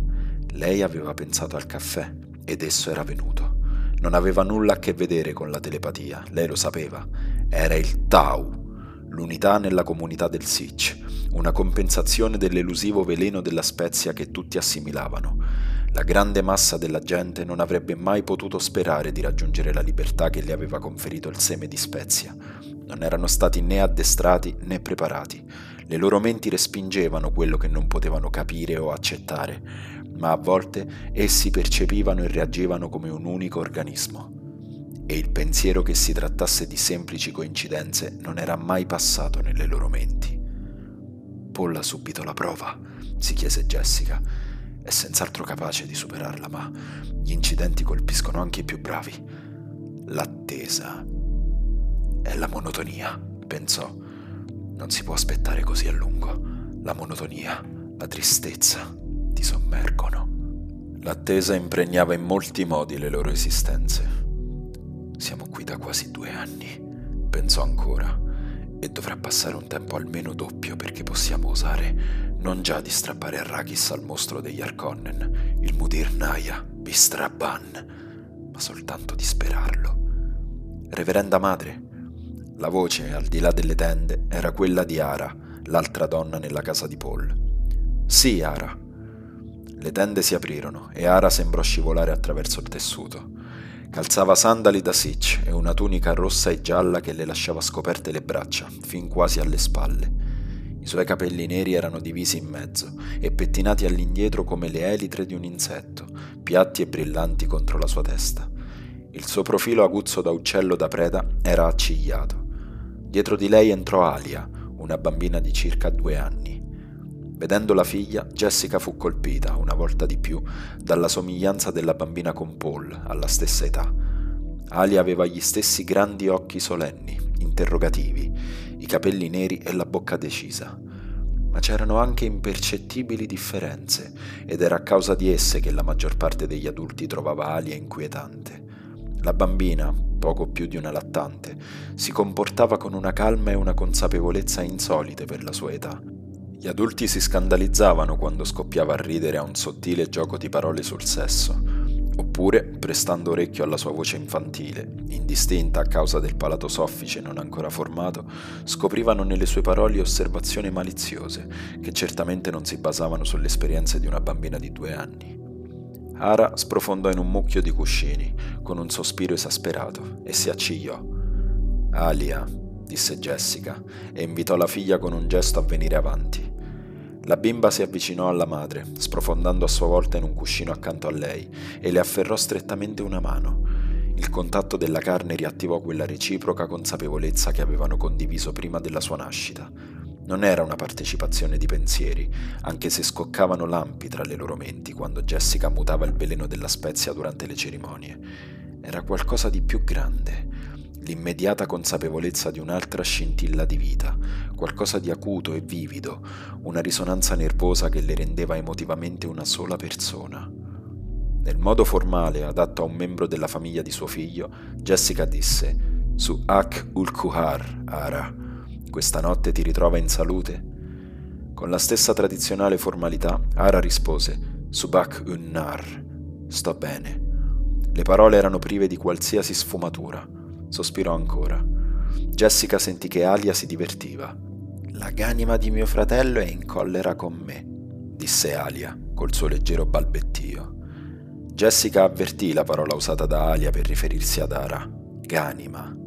Nelle sottigliezze della lingua Fremen questa parola significava qualcosa conquistato in battaglia e il modo con cui era stata pronunciata implicava che il qualcosa non era più usato per il suo scopo originario.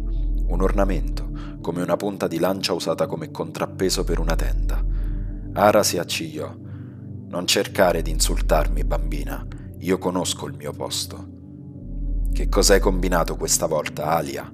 chiese Jessica. Non solo si è rifiutata di giocare con gli altri bambini, si affrettò a dire Ara, ma si è intromessa nella... Mi sono nascosta tra le tende e ho guardato il figlio di Subiai che nasceva, disse Alia. È un bambino. Piangeva e piangeva che polmoni.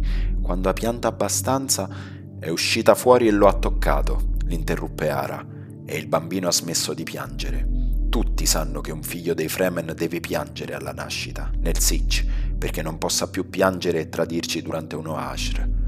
Aveva pianto abbastanza, ribatté Alia. Volevo soltanto sentire la sua scintilla vitale. È tutto. E quando mi ha sentito non ha più voluto piangere. Tutto questo ha provocato nuove chiacchiere, replicò Ara. Il figlio di Subiai è sano? chiese Jessica. C'era qualcosa che preoccupava profondamente Ara. Sano quanto una madre può desiderare, disse Ara. Sanno che Alia non gli ha fatto alcun male. Non gli importa poi tanto che lo abbia toccato. Si è calmato subito ed era felice, ma Ara scrollò le spalle. È la diversità di mia figlia, no? chiese Jessica. È il modo in cui parla di cose che non dovrebbero riguardarla se non tra molti anni, e di altre che dovrebbe ignorare, cose del passato. Come può sapere qual era l'aspetto di un bambino su Bela Tegeusi? domandò Ara. Ma era così, ribatté Alia. Il figlio di Subiai era identico al figlio di Mita, che è nato prima della partenza. Alia! gridò Jessica. Ti ho avvertita. Madre, l'ho visto ed era vero, il... Jessica scosse la testa, lesse sul volto di Ara l'inquietudine. Che cosa ho generato? si chiese. Mia figlia, quando è nata, già sapeva tutto quello che io sapevo, e anche di più. Tutto le è stato rivelato nei corridoi del passato, dalla reverenda madre dentro di me. Non sono soltanto le cose che dice, riprese Ara. Ci sono anche gli esercizi, il modo in cui si siede e fissa una roccia, muovendo soltanto un muscolo accanto al naso, o un dito, o... Questo fa parte dell'addestramento Bene Gesserit, l'interruppe Jessica. Tu lo sai, Ara. Vorresti negare a mia figlia la sua eredità? Reverenda madre, tu sai che queste cose non hanno importanza per me, ma si tratta del popolo e del modo in cui mormora.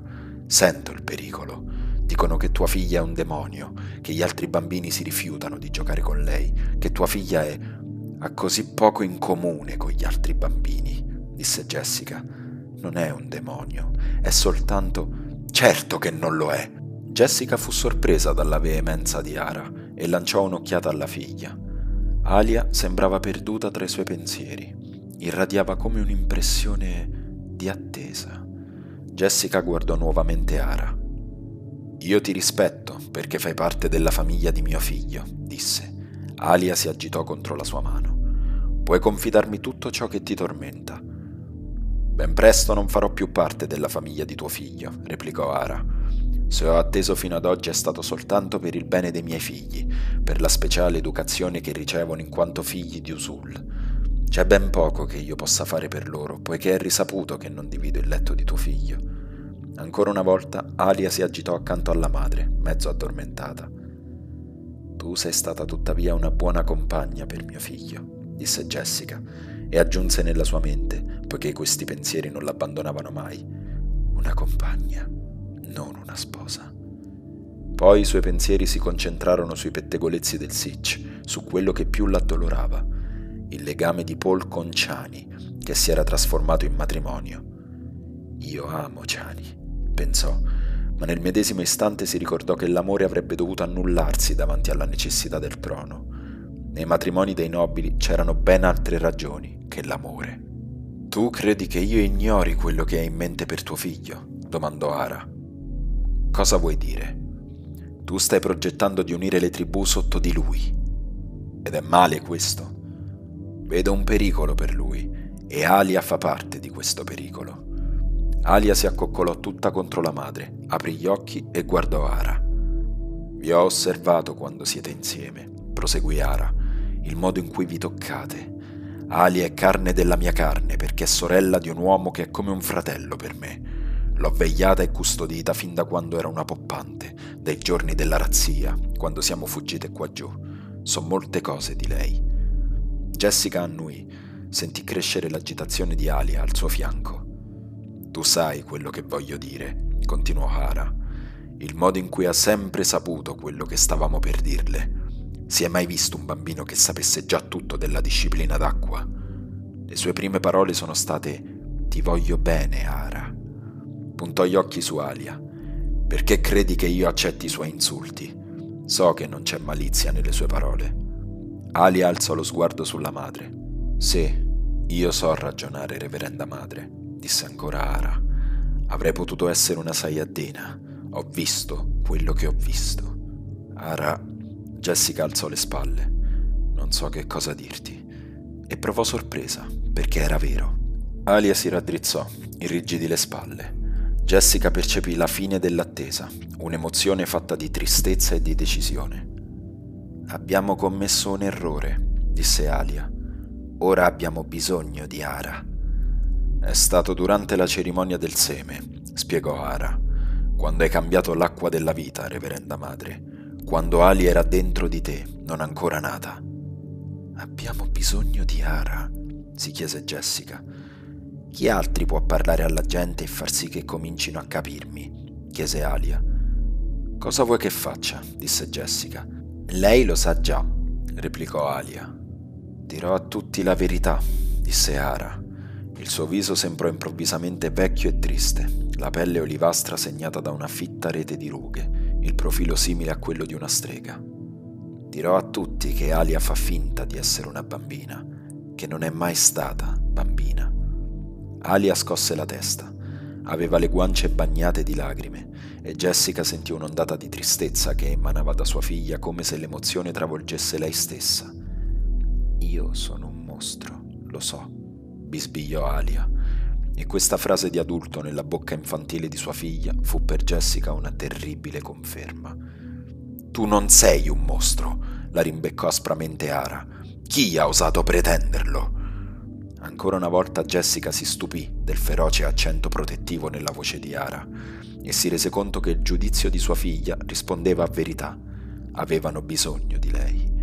La tribù avrebbe capito Ara e le sue parole come le sue emozioni, poiché era evidente che amava Alia come se fosse stata sua figlia. Chi ha osato? ripeté Ara. Nessuno.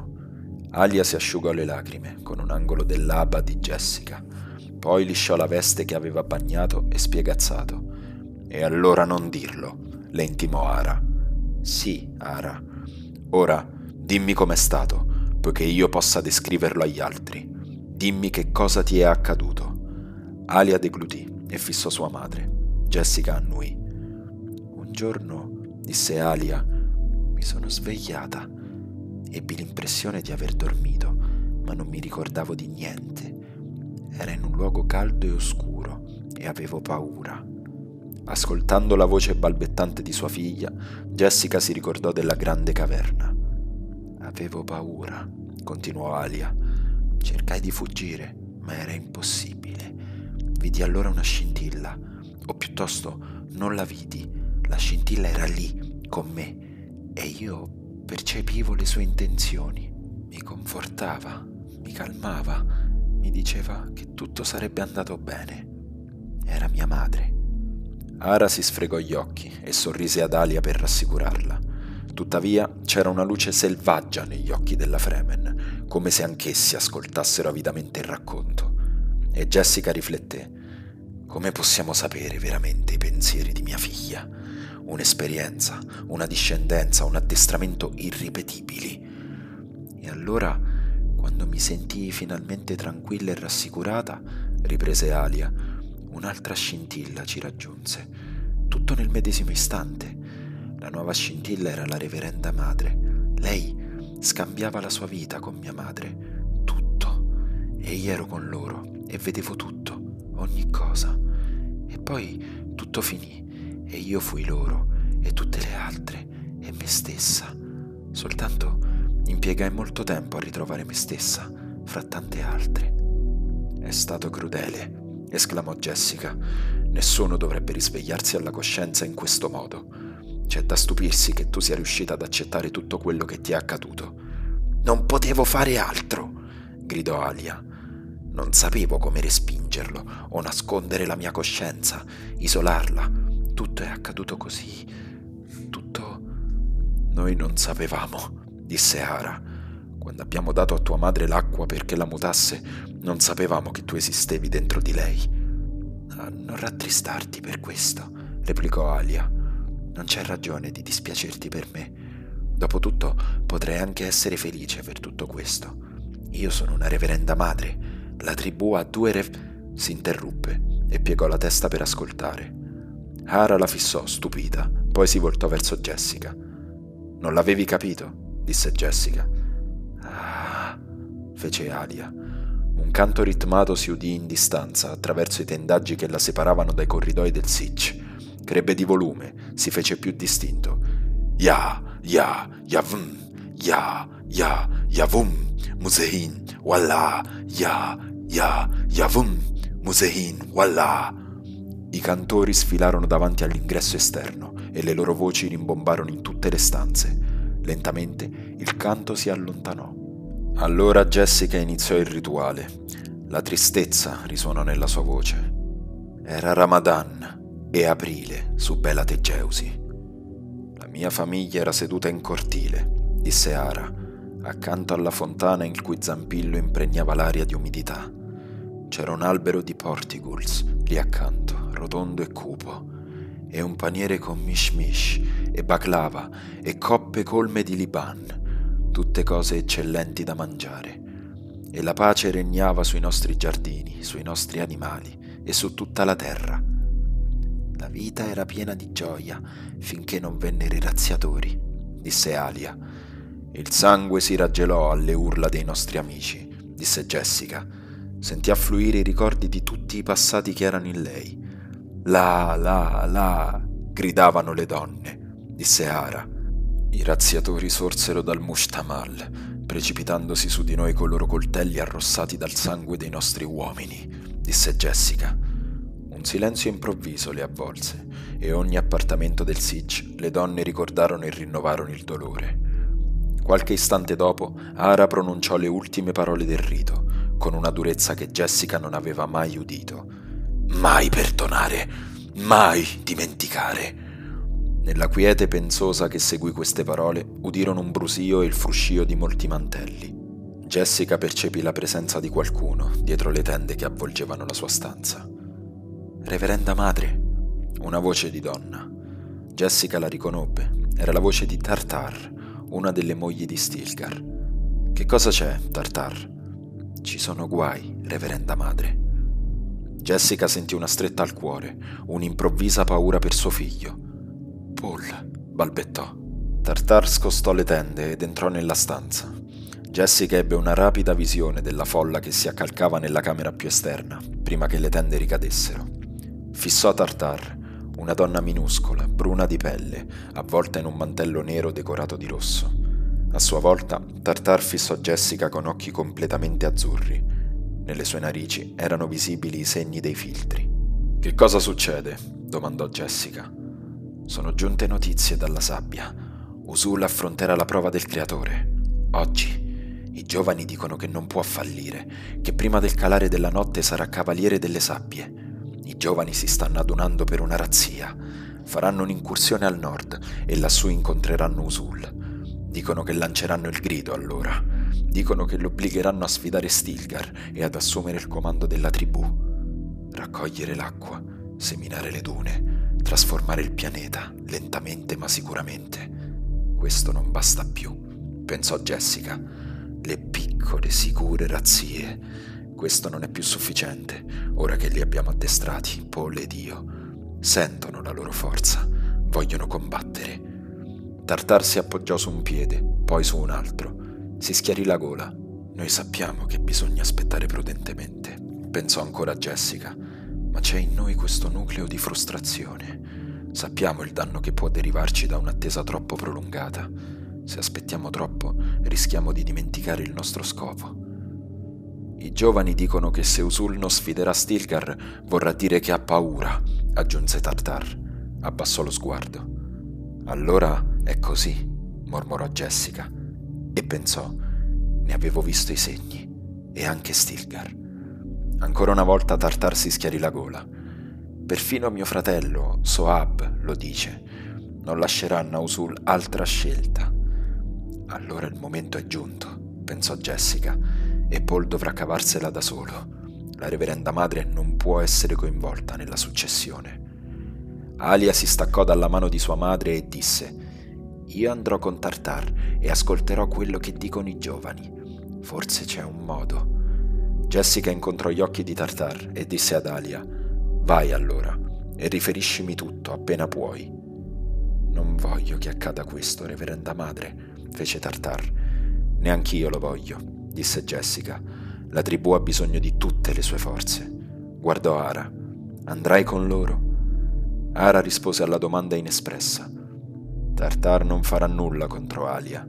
Lei sa che presto saremo mogli insieme, lei ed io, per dividerci lo stesso uomo. Abbiamo parlato, Tartar e io.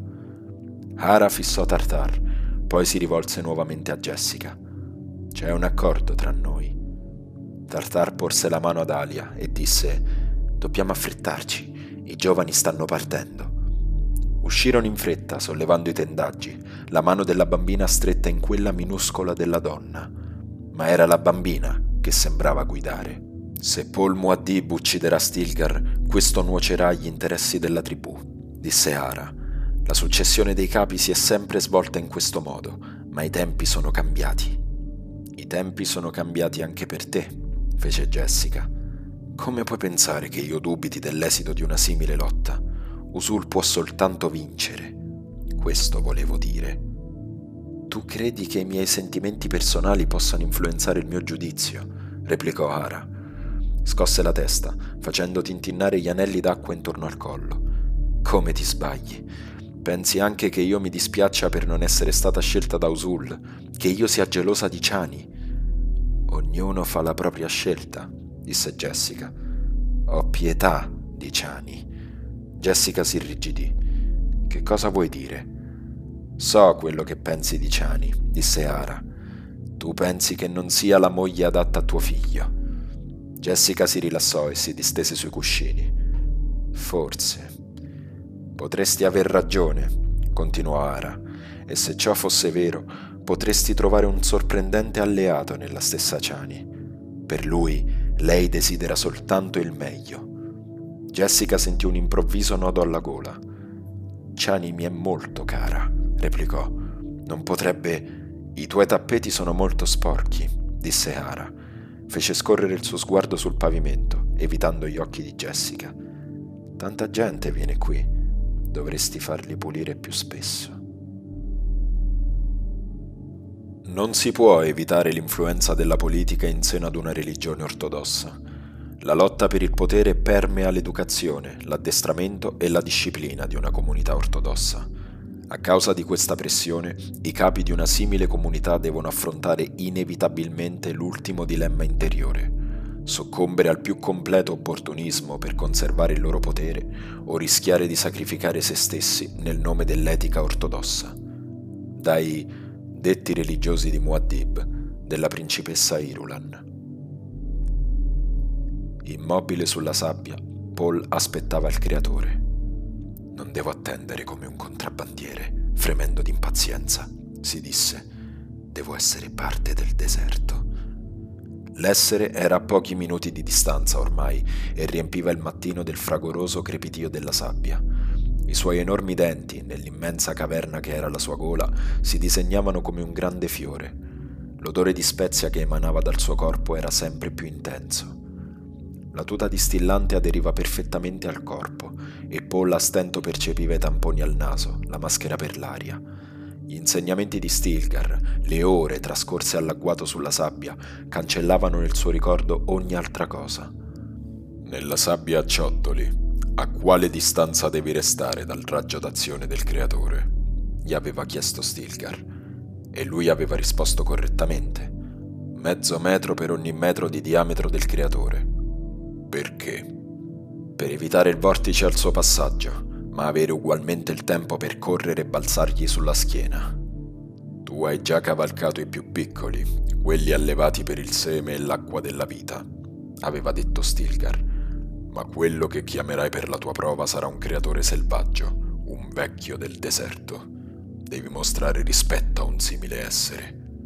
Ora il profondo rumore del martellatore si mescolava allo stridio del verme in avvicinamento.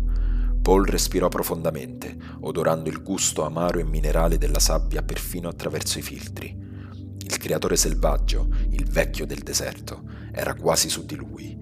Il suo segmento frontale, crestato, sollevava un'onda di sabbia che l'avrebbe ben presto investito. Vieni dunque, adorabile mostro, pensò. Non senti il mio richiamo? Vieni, vieni.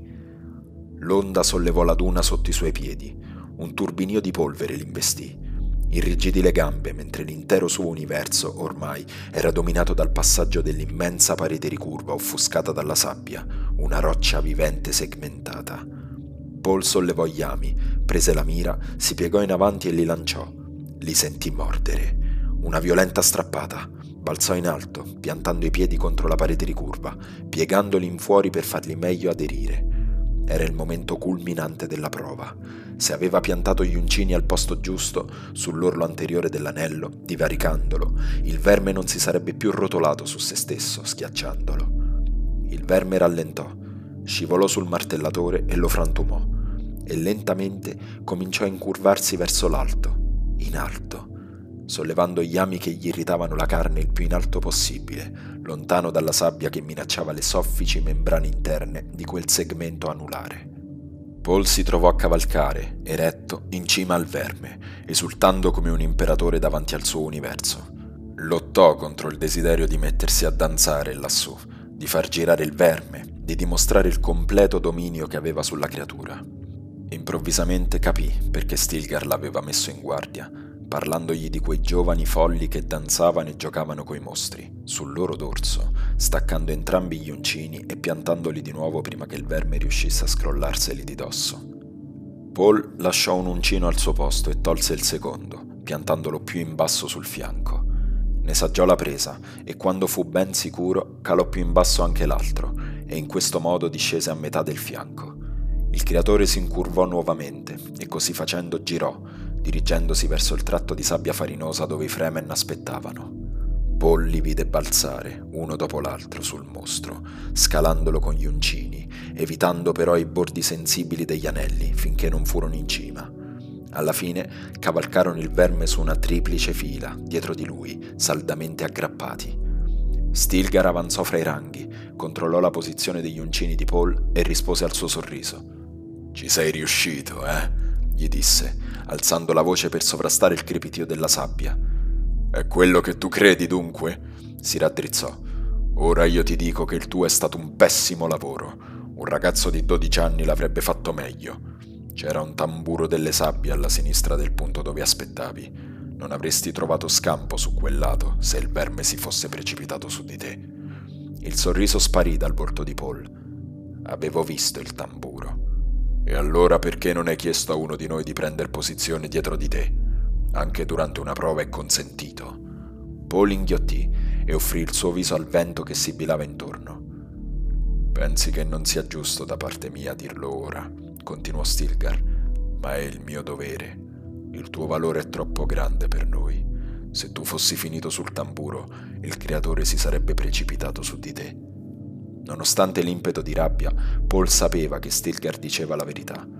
Gli ci volle un intero minuto e tutto l'addestramento ricevuto da sua madre per riacquistare la calma. Mi scuso, disse, non accadrà mai più. In una posizione difficile fatti sempre aiutare da un altro, da qualcuno che possa balzare sul creatore se non puoi farlo tu. Ricordati che noi lavoriamo sempre insieme. Soltanto così siamo sicuri. Insieme. D'accordo? Batté una mano sulla spalla di Paul. Insieme, ripeté Paul. Ora, disse Stilgar, e la sua voce era dura. Fammi vedere come sai manovrare un creatore.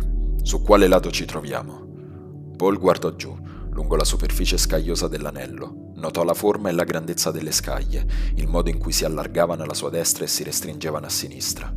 Ogni verme, lui lo sapeva, si muoveva in modo caratteristico e rivolgeva quasi sempre lo stesso lato verso l'alto.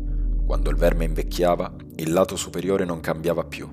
Le scaglie in basso diventavano più pesanti, più larghe e lisce. Su un grosso verme bastava una sola occhiata alle scaglie per identificare l'alto e il basso. Paul mosse gli uncini e si portò più a sinistra. Fece un gesto a due uomini al suo fianco che si portarono sul segmento aperto per mantenere il verme in linea retta. Quindi invitò due timonieri a uscire dalle file e a farsi avanti. Ach! Aio! urlò Paul, il grido tradizionale. Il timoniere di sinistra divaricò il bordo dell'anello. Per proteggerlo, il verme si incurvò maestosamente. Fece un giro completo e quando fu diretto nuovamente a sud, Paul urlò Geirat! Il timoniere tolse l'uncino. Il creatore proseguì la corsa in linea retta. Molto bene, Paul Muad'Dib, disse Stilgar. Con la pratica potrai diventare anche tu un cavaliere delle sabbie. Paul si rabbuiò. Non sono stato io il primo a salirgli in groppa. Alle sue spalle si innalzò un improvviso scoppio di risa e la truppa cominciò a cantare. Muad'Dib, Muad'Dib, Muad'Dib e molto più indietro, sulla superficie del verme, Paul udì i pungolatori che battevano sui segmenti di coda. Il verme accelerò. I mantelli sbattevano al vento e il crepitio della sabbia crebbe di intensità. Paul si voltò a guardare i Fremen e colse il volto di Ciani tra loro. La fissò mentre chiedeva a Stilgar: E allora? Sono un cavaliere delle sabbie? Halyavam! Tu sei un cavaliere delle sabbie allora posso scegliere la nostra destinazione. Così vuole l'usanza. E io sono un Fremen, nato qui, oggi, sull'Erg di Albania. Non ho mai viaggiato fino ad oggi. Ero un bambino. Non proprio un bambino, replicò Stilgar. Strinse un angolo del cappuccio che sbatteva al vento. Ma c'era un sigillo che mi impediva di uscire nel mio universo. Quel sigillo oggi è stato strappato. Non c'è più alcun sigillo. Io voglio andare a sud, Stilgar. Venti martellatori. Vedrò così il paese che stiamo edificando, la terra che ho visto soltanto attraverso gli occhi degli altri. E vedrò mio figlio e la mia famiglia, pensò. Ho bisogno di tempo ora per esaminare questo futuro che nella mia mente è un passato. Il turbine si avvicina e se non riuscirò a fermarlo si scatenerà in tutta la sua violenza selvaggia. Stilgar lo osservò, pensoso. Paul continuò a fissare Ciani, leggendo sul suo viso il riflesso dell'eccitazione che le sue parole avevano risvegliato nella truppa. Gli uomini fremono dall'impazienza di compiere una razzia con te, nei sink degli Arconnen, disse Stilgar. I sink si trovano a un solo martellatore da qui. I Fedaikin hanno già combattuto insieme a me, replicò Paul, e combatteranno ancora finché non vi saranno più Arconnen a respirare l'aria di Arrakis. Stilgar lo guardò a lungo e Paul capì che stava pensando al modo in cui aveva assunto il comando del Sich Tabar e del Consiglio dei Capi dopo la morte di Liet Kynes. Certamente ha sentito dell'agitazione che regna tra i giovani Fremen, pensò Paul. Vuoi una riunione dei capi? domandò Stilgar. Gli occhi dei giovani dietro di lui lampeggiarono mentre continuavano a cavalcare il verme nella sua folle corsa. Chani lo fissò inquieta, facendo passare il suo sguardo da Paul Muad'Dib, che era il suo compagno, a Stilgar, che era suo zio. Non puoi sapere ciò che voglio, disse Paul, e pensò, non posso rifiutarmi, devo mantenere il mio controllo su questa gente. Tu sei il mudir delle sabbie oggi, disse Stilgar. La sua voce risuonò fredda, formale. Come userai il tuo potere? Abbiamo bisogno di tempo per rilassarci, per riflettere con calma, pensò Paul. Andremo a sud, dichiarò. Anche se io dico che dovremmo ritornare al nord non appena questa giornata avrà fine. Noi andremo a sud, ripeté Paul. Una ineluttabile dignità circondò Stilgar mentre si avvolgeva strettamente nel mantello. La riunione avrà luogo, disse. Manderò i messaggi. Crede che io voglia sfidarlo, si disse Paul, e sa che non può vincermi. Si voltò verso il sud, nel vento che gli frustava il viso, pensando a tutti gli obblighi che avrebbero condizionato le sue decisioni. Ignorano la verità, disse ancora dentro di sé.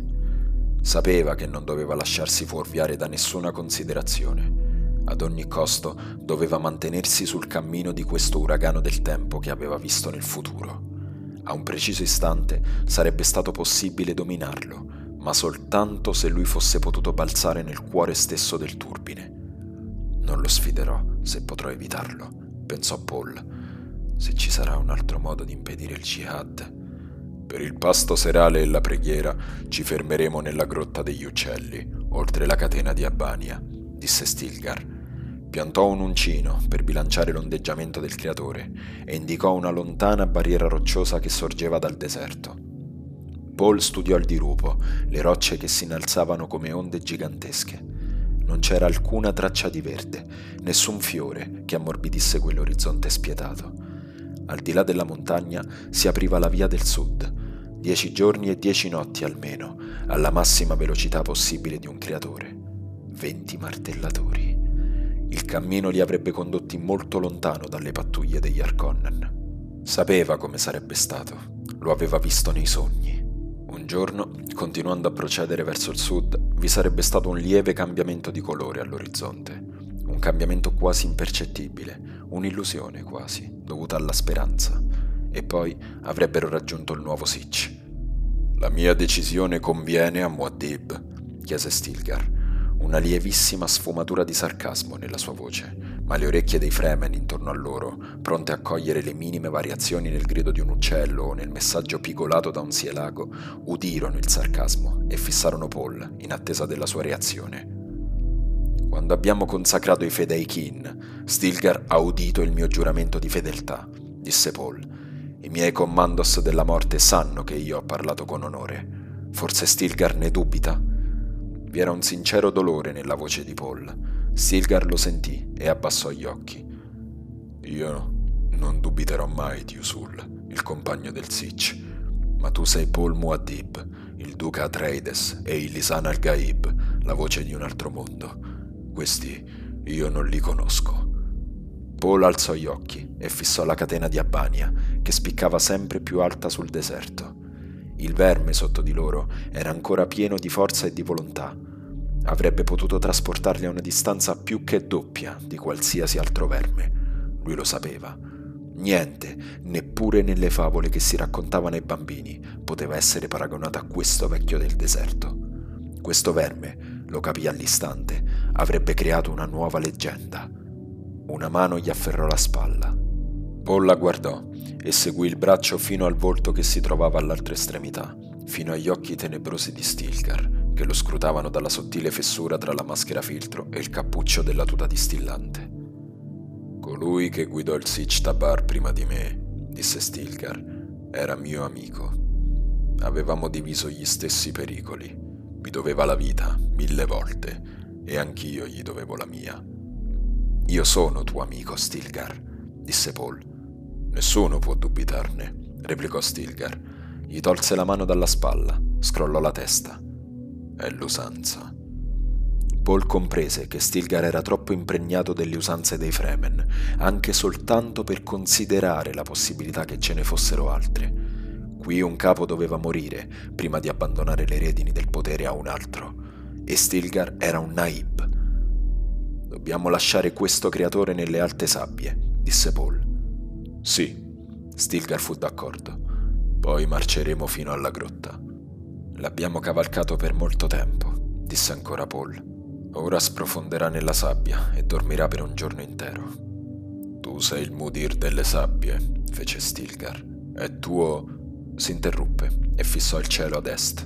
Paul si voltò di scatto. L'azzurro della spezia, nei suoi occhi, rendeva il cielo più cupo, sul quale un ritmico lampeggiare lontano formava un violento contrasto. Un ornitottero. È piccolo, disse Stilgar. Forse un ricognitore, replicò Paul Pensi che ci abbia visto? A questa distanza siamo soltanto un verme sulla superficie, disse Stilgar. Fece un rapido gesto con la sinistra. Giù, disperdetevi nella sabbia.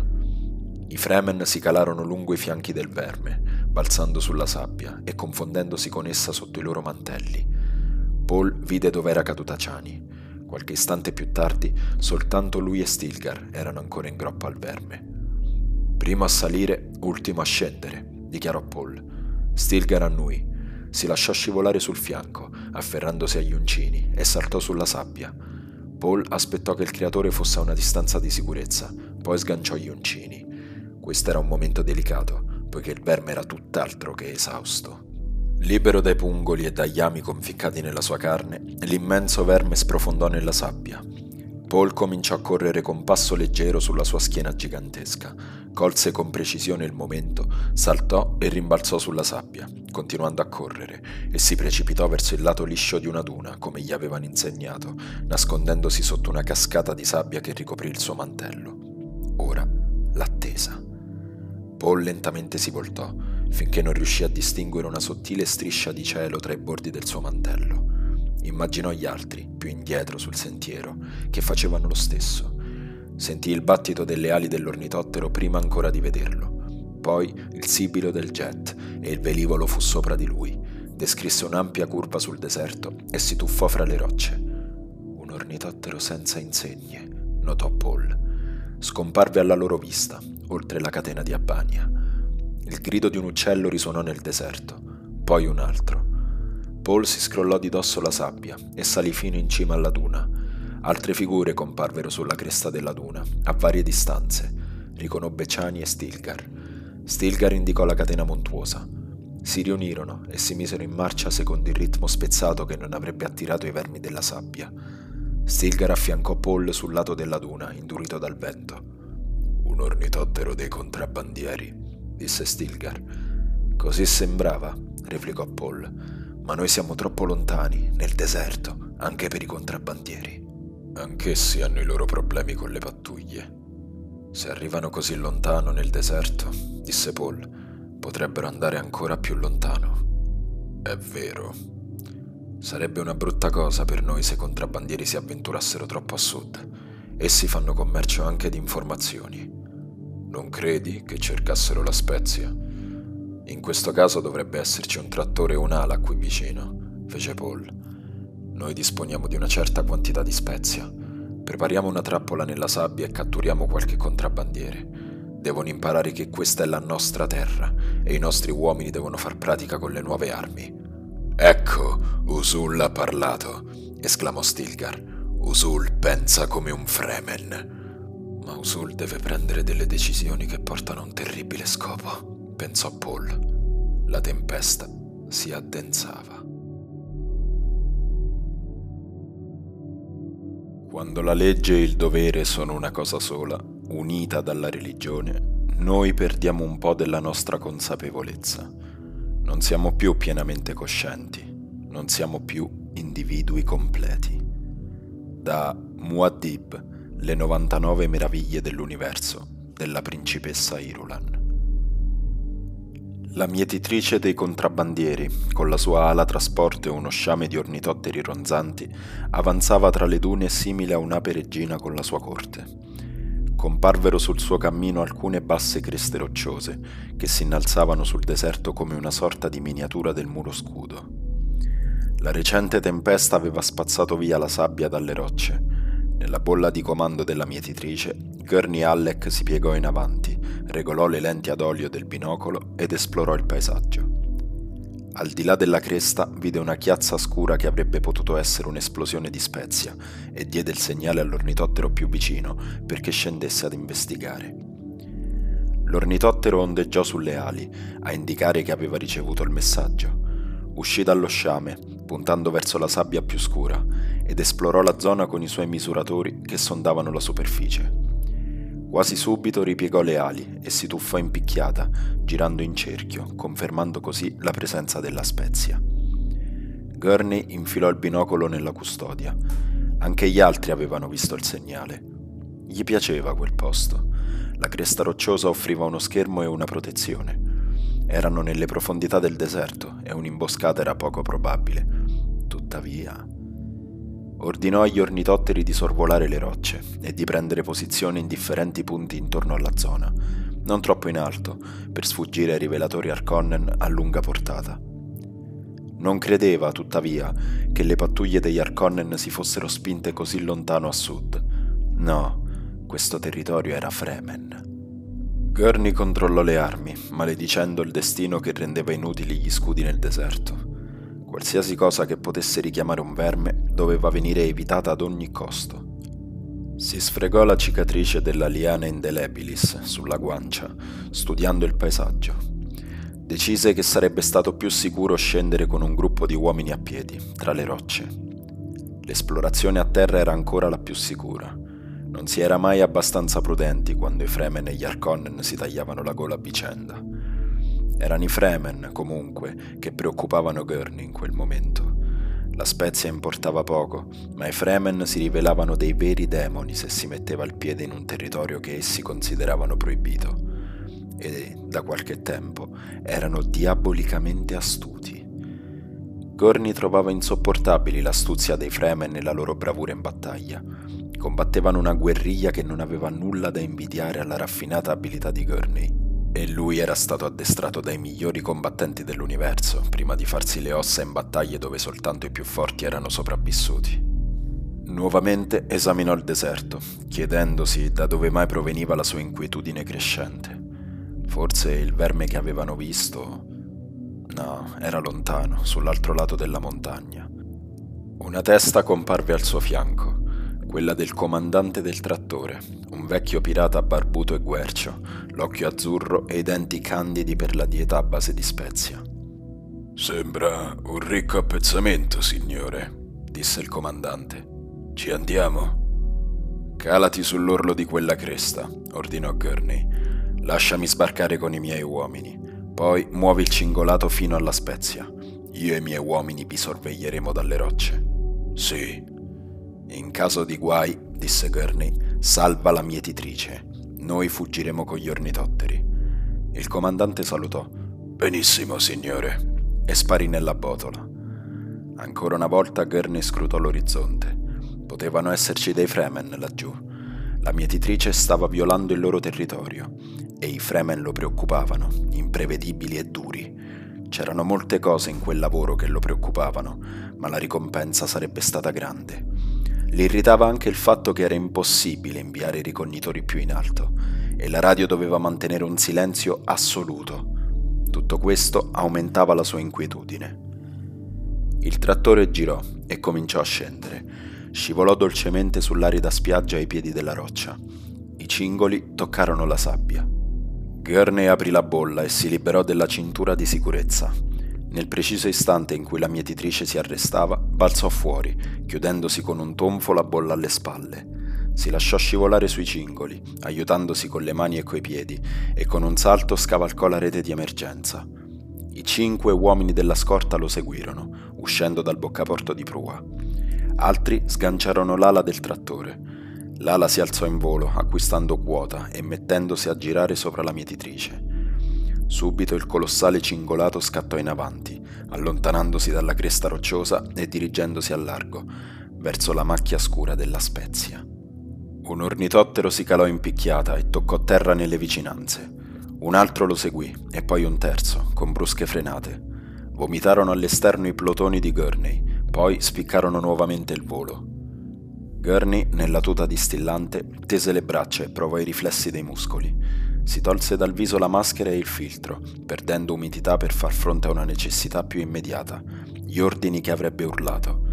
Cominciò a scalare la roccia, controllando la consistenza del terreno. Ciottoli e sabbia pisolitica, odore di spezia. Un posto ideale per una base di emergenza, pensò.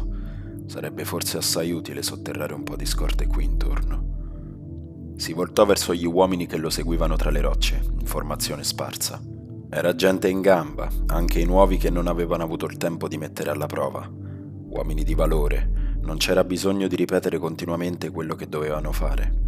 Nessun vigliacco tra loro, nessuno scintillio di scudi che avrebbe attirato un verme, rovinando il raccolto della spezia. Dal punto in cui si trovava, in alto fra le rocce, Gurney vedeva chiaramente la macchia scura della Spezia, a mezzo chilometro di distanza, e il trattore che la stava raggiungendo proprio in quell'istante.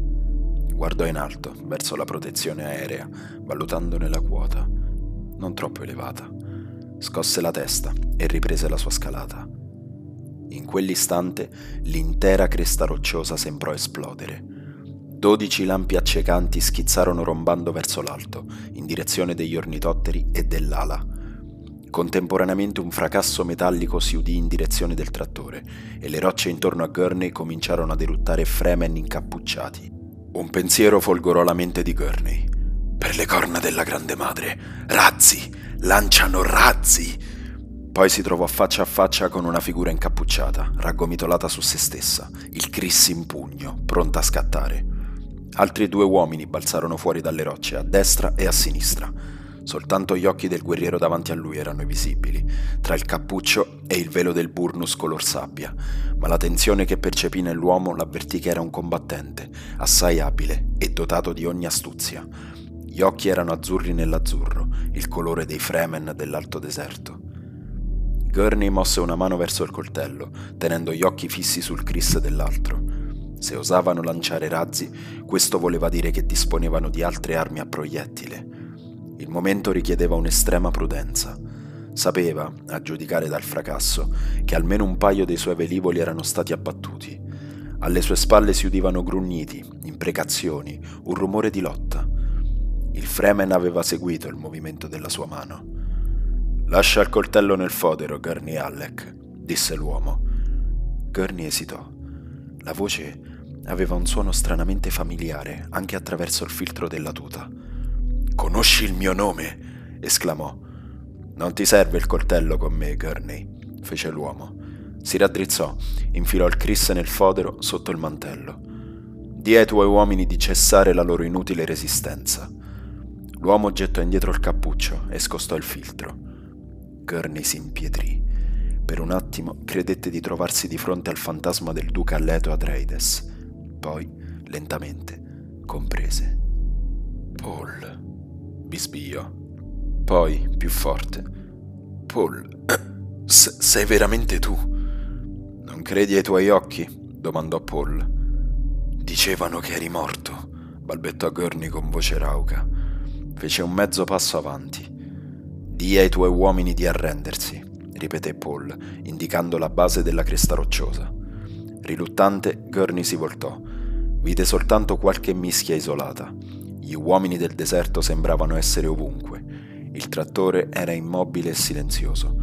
Un gruppo di Fremen era in piedi sopra di esso. Non si udiva più il rumore dei velivoli sopra le loro teste. Cessate il combattimento! urlò Gurney.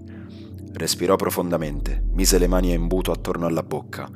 Qui, Gurney Alec! Cessate di combattere!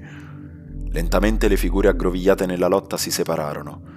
Numerosi occhi perplessi si alzarono verso di lui. Questi sono amici! gridò ancora. Amici, gli rispose una voce. Metà dei nostri uomini sono stati assassinati. È stato un errore, disse Gurney. Non peggioratelo. Si voltò nuovamente verso Paul e fissò gli occhi del giovane, azzurri sull'azzurro. Un sorriso sfiorò il volto di Paul, ma c'era una durezza nella sua espressione che ricordò a Gurney il vecchio duca, il nonno. Poi vide il corpo nervoso e asciutto di Paul, la pelle coriacea, gli occhi sfuggenti, vigili, che non erano mai stati degli Atreides. Dicevano che eri morto, ripeté ancora. Mi è sembrato la migliore protezione lasciarglielo credere, disse Paul.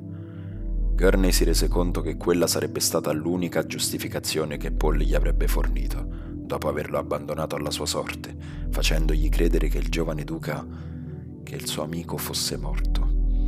Si chiese allora se fosse rimasto qualcosa del ragazzo che lui aveva conosciuto e addestrato nell'arte del combattimento. Paul fece un passo verso Gurney e sentì gli occhi che gli prudevano. Gurney. E furono l'uno nelle braccia dell'altro, battendosi reciprocamente le mani sulle spalle, provando il contatto confortante dei propri muscoli. Dannato ragazzo, dannato ragazzo, continuava a balbettare Gurney. E Paul, Gurney, vecchio Gurney. Poi si separarono, si squadrarono. Gurney respirò profondamente. Così tu sei la causa della nuova abilità dei Fremen in battaglia. Avrei dovuto immaginarlo. Fanno cose che soltanto io potrei fare. Se soltanto avessi capito. Scosse la testa. Se tu avessi mandato un messaggio, ragazzo, niente mi avrebbe fermato. Sarei venuto di corsa e... Un'occhiata di Paul lo fermò, uno sguardo duro, calcolatore. Gurney sospirò. Sicuro. Qualcuno si sarebbe chiesto perché Gurney Alec se n'era andato così in fretta e alcuni avrebbero fatto qualcosa di più che porsi semplici domande, avrebbero dato la caccia alle risposte. Paul annui e guardò i Fremen in attesa. Vi erano apprezzamento e curiosità negli occhi dei Fedaikin. Fissò nuovamente Gurney. L'aver ritrovato il suo vecchio maestro d'armi lo riempiva di gioia. Era come un felice presagio, l'annuncio di un avvenire propizio. Con Gurney al suo fianco, Paul guardò oltre i Fedaikin e le rocce, studiò l'equipaggiamento dei contrabbandieri. Da che parte stanno i tuoi uomini, Gurney? Sono dei contrabbandieri, vanno dove il profitto li chiama. La nostra impresa garantisce ben pochi profitti, disse Paul, e colse l'impercettibile gesto che Gurney gli aveva fatto con la mano destra. Nel vecchio codice manuale che un tempo usavano tra loro, questo significava che tra i contrabbandieri c'erano alcuni uomini da cui bisognava guardarsi.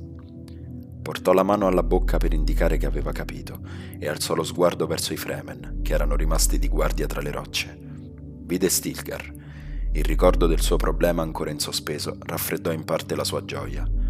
Stilgar, disse Paul, questo è Gurney Alec. Ti ho parlato tante volte di lui, il maestro d'armi di mio padre. È lui che mi ha insegnato a combattere. È un vecchio amico. Ci si può fidare di lui per qualsiasi impresa.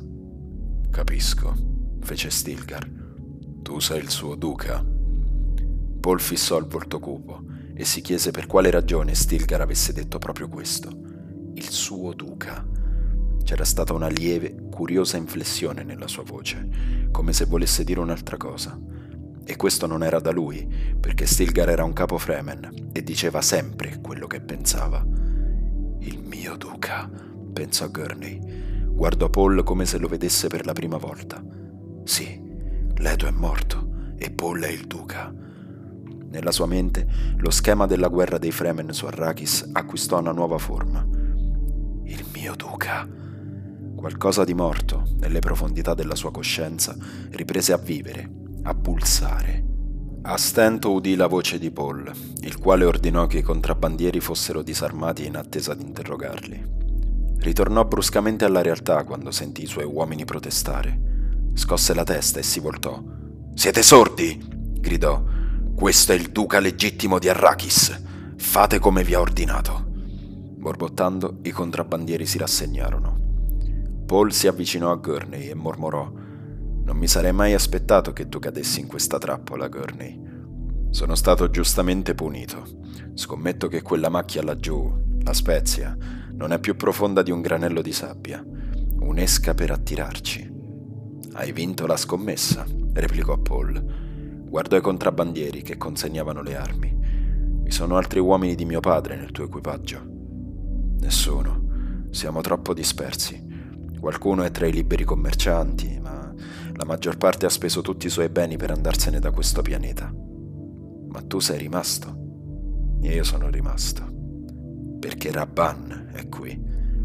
Pensavo che non mi restasse nient'altro fuorché la vendetta, disse Gurney. Un urlo, curiosamente troncato, risuonò in cima alla cresta rocciosa. Gurney alzò gli occhi e vide un Fremen che agitava un fazzoletto. Arriva un creatore, disse Paul. Seguito da Gurney, salì su uno sperone roccioso e guardò verso sud-ovest. L'onda di sabbia spostata dal verme era visibile a metà strada tra le rocce e l'orizzonte, una traccia coronata di polvere che tagliava direttamente il deserto verso di loro. È molto grosso, disse Paul. Uno strepito si alzò dalla mietitrice alle loro spalle. L'enorme macchina si stava girando sui cingoli come un gigantesco insetto, muovendosi pesantemente verso le rocce. Peccato che non sia stato possibile salvare l'ala, disse ancora Paul. Gorney lo fissò e guardò nuovamente il mucchio di rottami fumanti nel deserto, dove l'ala e gli ornitotteri si erano schiantati, colpiti dai razzi dei Fremen. Provò un improvviso dolore per gli uomini morti laggiù, i suoi uomini, e disse: Tuo padre si sarebbe rammaricato soprattutto per gli uomini che non era riuscito a salvare. Paul lo fissò duramente poi abbassò lo sguardo. Replicò, infine, erano tuoi amici, Gurney. Ti capisco. Per noi, tuttavia, erano degli intrusi. Potevano vedere cose proibite. Capisco, fin troppo bene, disse Gurney. Ora sono proprio curioso di vederle, queste cose proibite. Paul alzò gli occhi e riconobbe quel sogghigno da vecchio lupo che conosceva così bene e l'increspatura della liana indelebilis sulla mascella di Alec. Gurney accennò col capo al deserto sotto di loro. I Fremen continuavano ad affaccendarsi e nessuno sembrava preoccuparsi per l'avvicinarsi del verme. Un rullio risuonò tra le dune, al di là della trappola di Spezia. Un sordo pulsare che Gurney sentì risalire dalla base della roccia attraverso i piedi. I Fremen si dispersero sulla sabbia, lungo il segno del verme. E il verme era ormai vicino, come un gigantesco pesce delle sabbie, aprendo la superficie del deserto con la sua cresta. I suoi anelli lucidi e ondeggianti tracciavano un solco tra una nube di polvere. Dalla sua posizione privilegiata, Gurney poté assistere alla cattura il balzo ardito del primo uncinatore, la brusca rotazione della creatura e poi tutti gli uomini che si lanciavano all'assalto della mobile collina scagliosa. Ecco una cosa che non avresti dovuto vedere, dichiarò Paul. Circolano molte voci, disse Gurney, ma è impossibile crederlo senza averlo visto. Scosse la testa. La creatura che tutti temono su Arrakis, voi la usate come un animale da sella. Hai sentito mio padre parlare del potere del deserto? replicò Paul. Eccolo, la superficie del pianeta è nostra. Non esistono tempeste o animali che possano fermarci. Fermarci, pensò Gurney. Vuol dire i Fremen. Si considera uno di loro. Considerò ancora gli occhi azzurri di Paul Sapeva che anche i suoi occhi avevano una sfumatura di questo colore, ma i contrabbandieri potevano ottenere alimenti da altri pianeti e c'era una sottile implicazione di casta fra loro in base all'intensità dell'azzurro. Quando un uomo diventava troppo simile agli indigeni, si diceva che aveva preso un colpo di spezia. C'era sempre un certo disprezzo in questa espressione. Un tempo non avremmo mai cavalcato un creatore alla luce del giorno e a queste latitudini, disse Paul. Ma Rabban non dispone più di un numero sufficiente di ornitotteri per sorvegliare anche la più piccola distesa di sabbia. Fissò Gurney.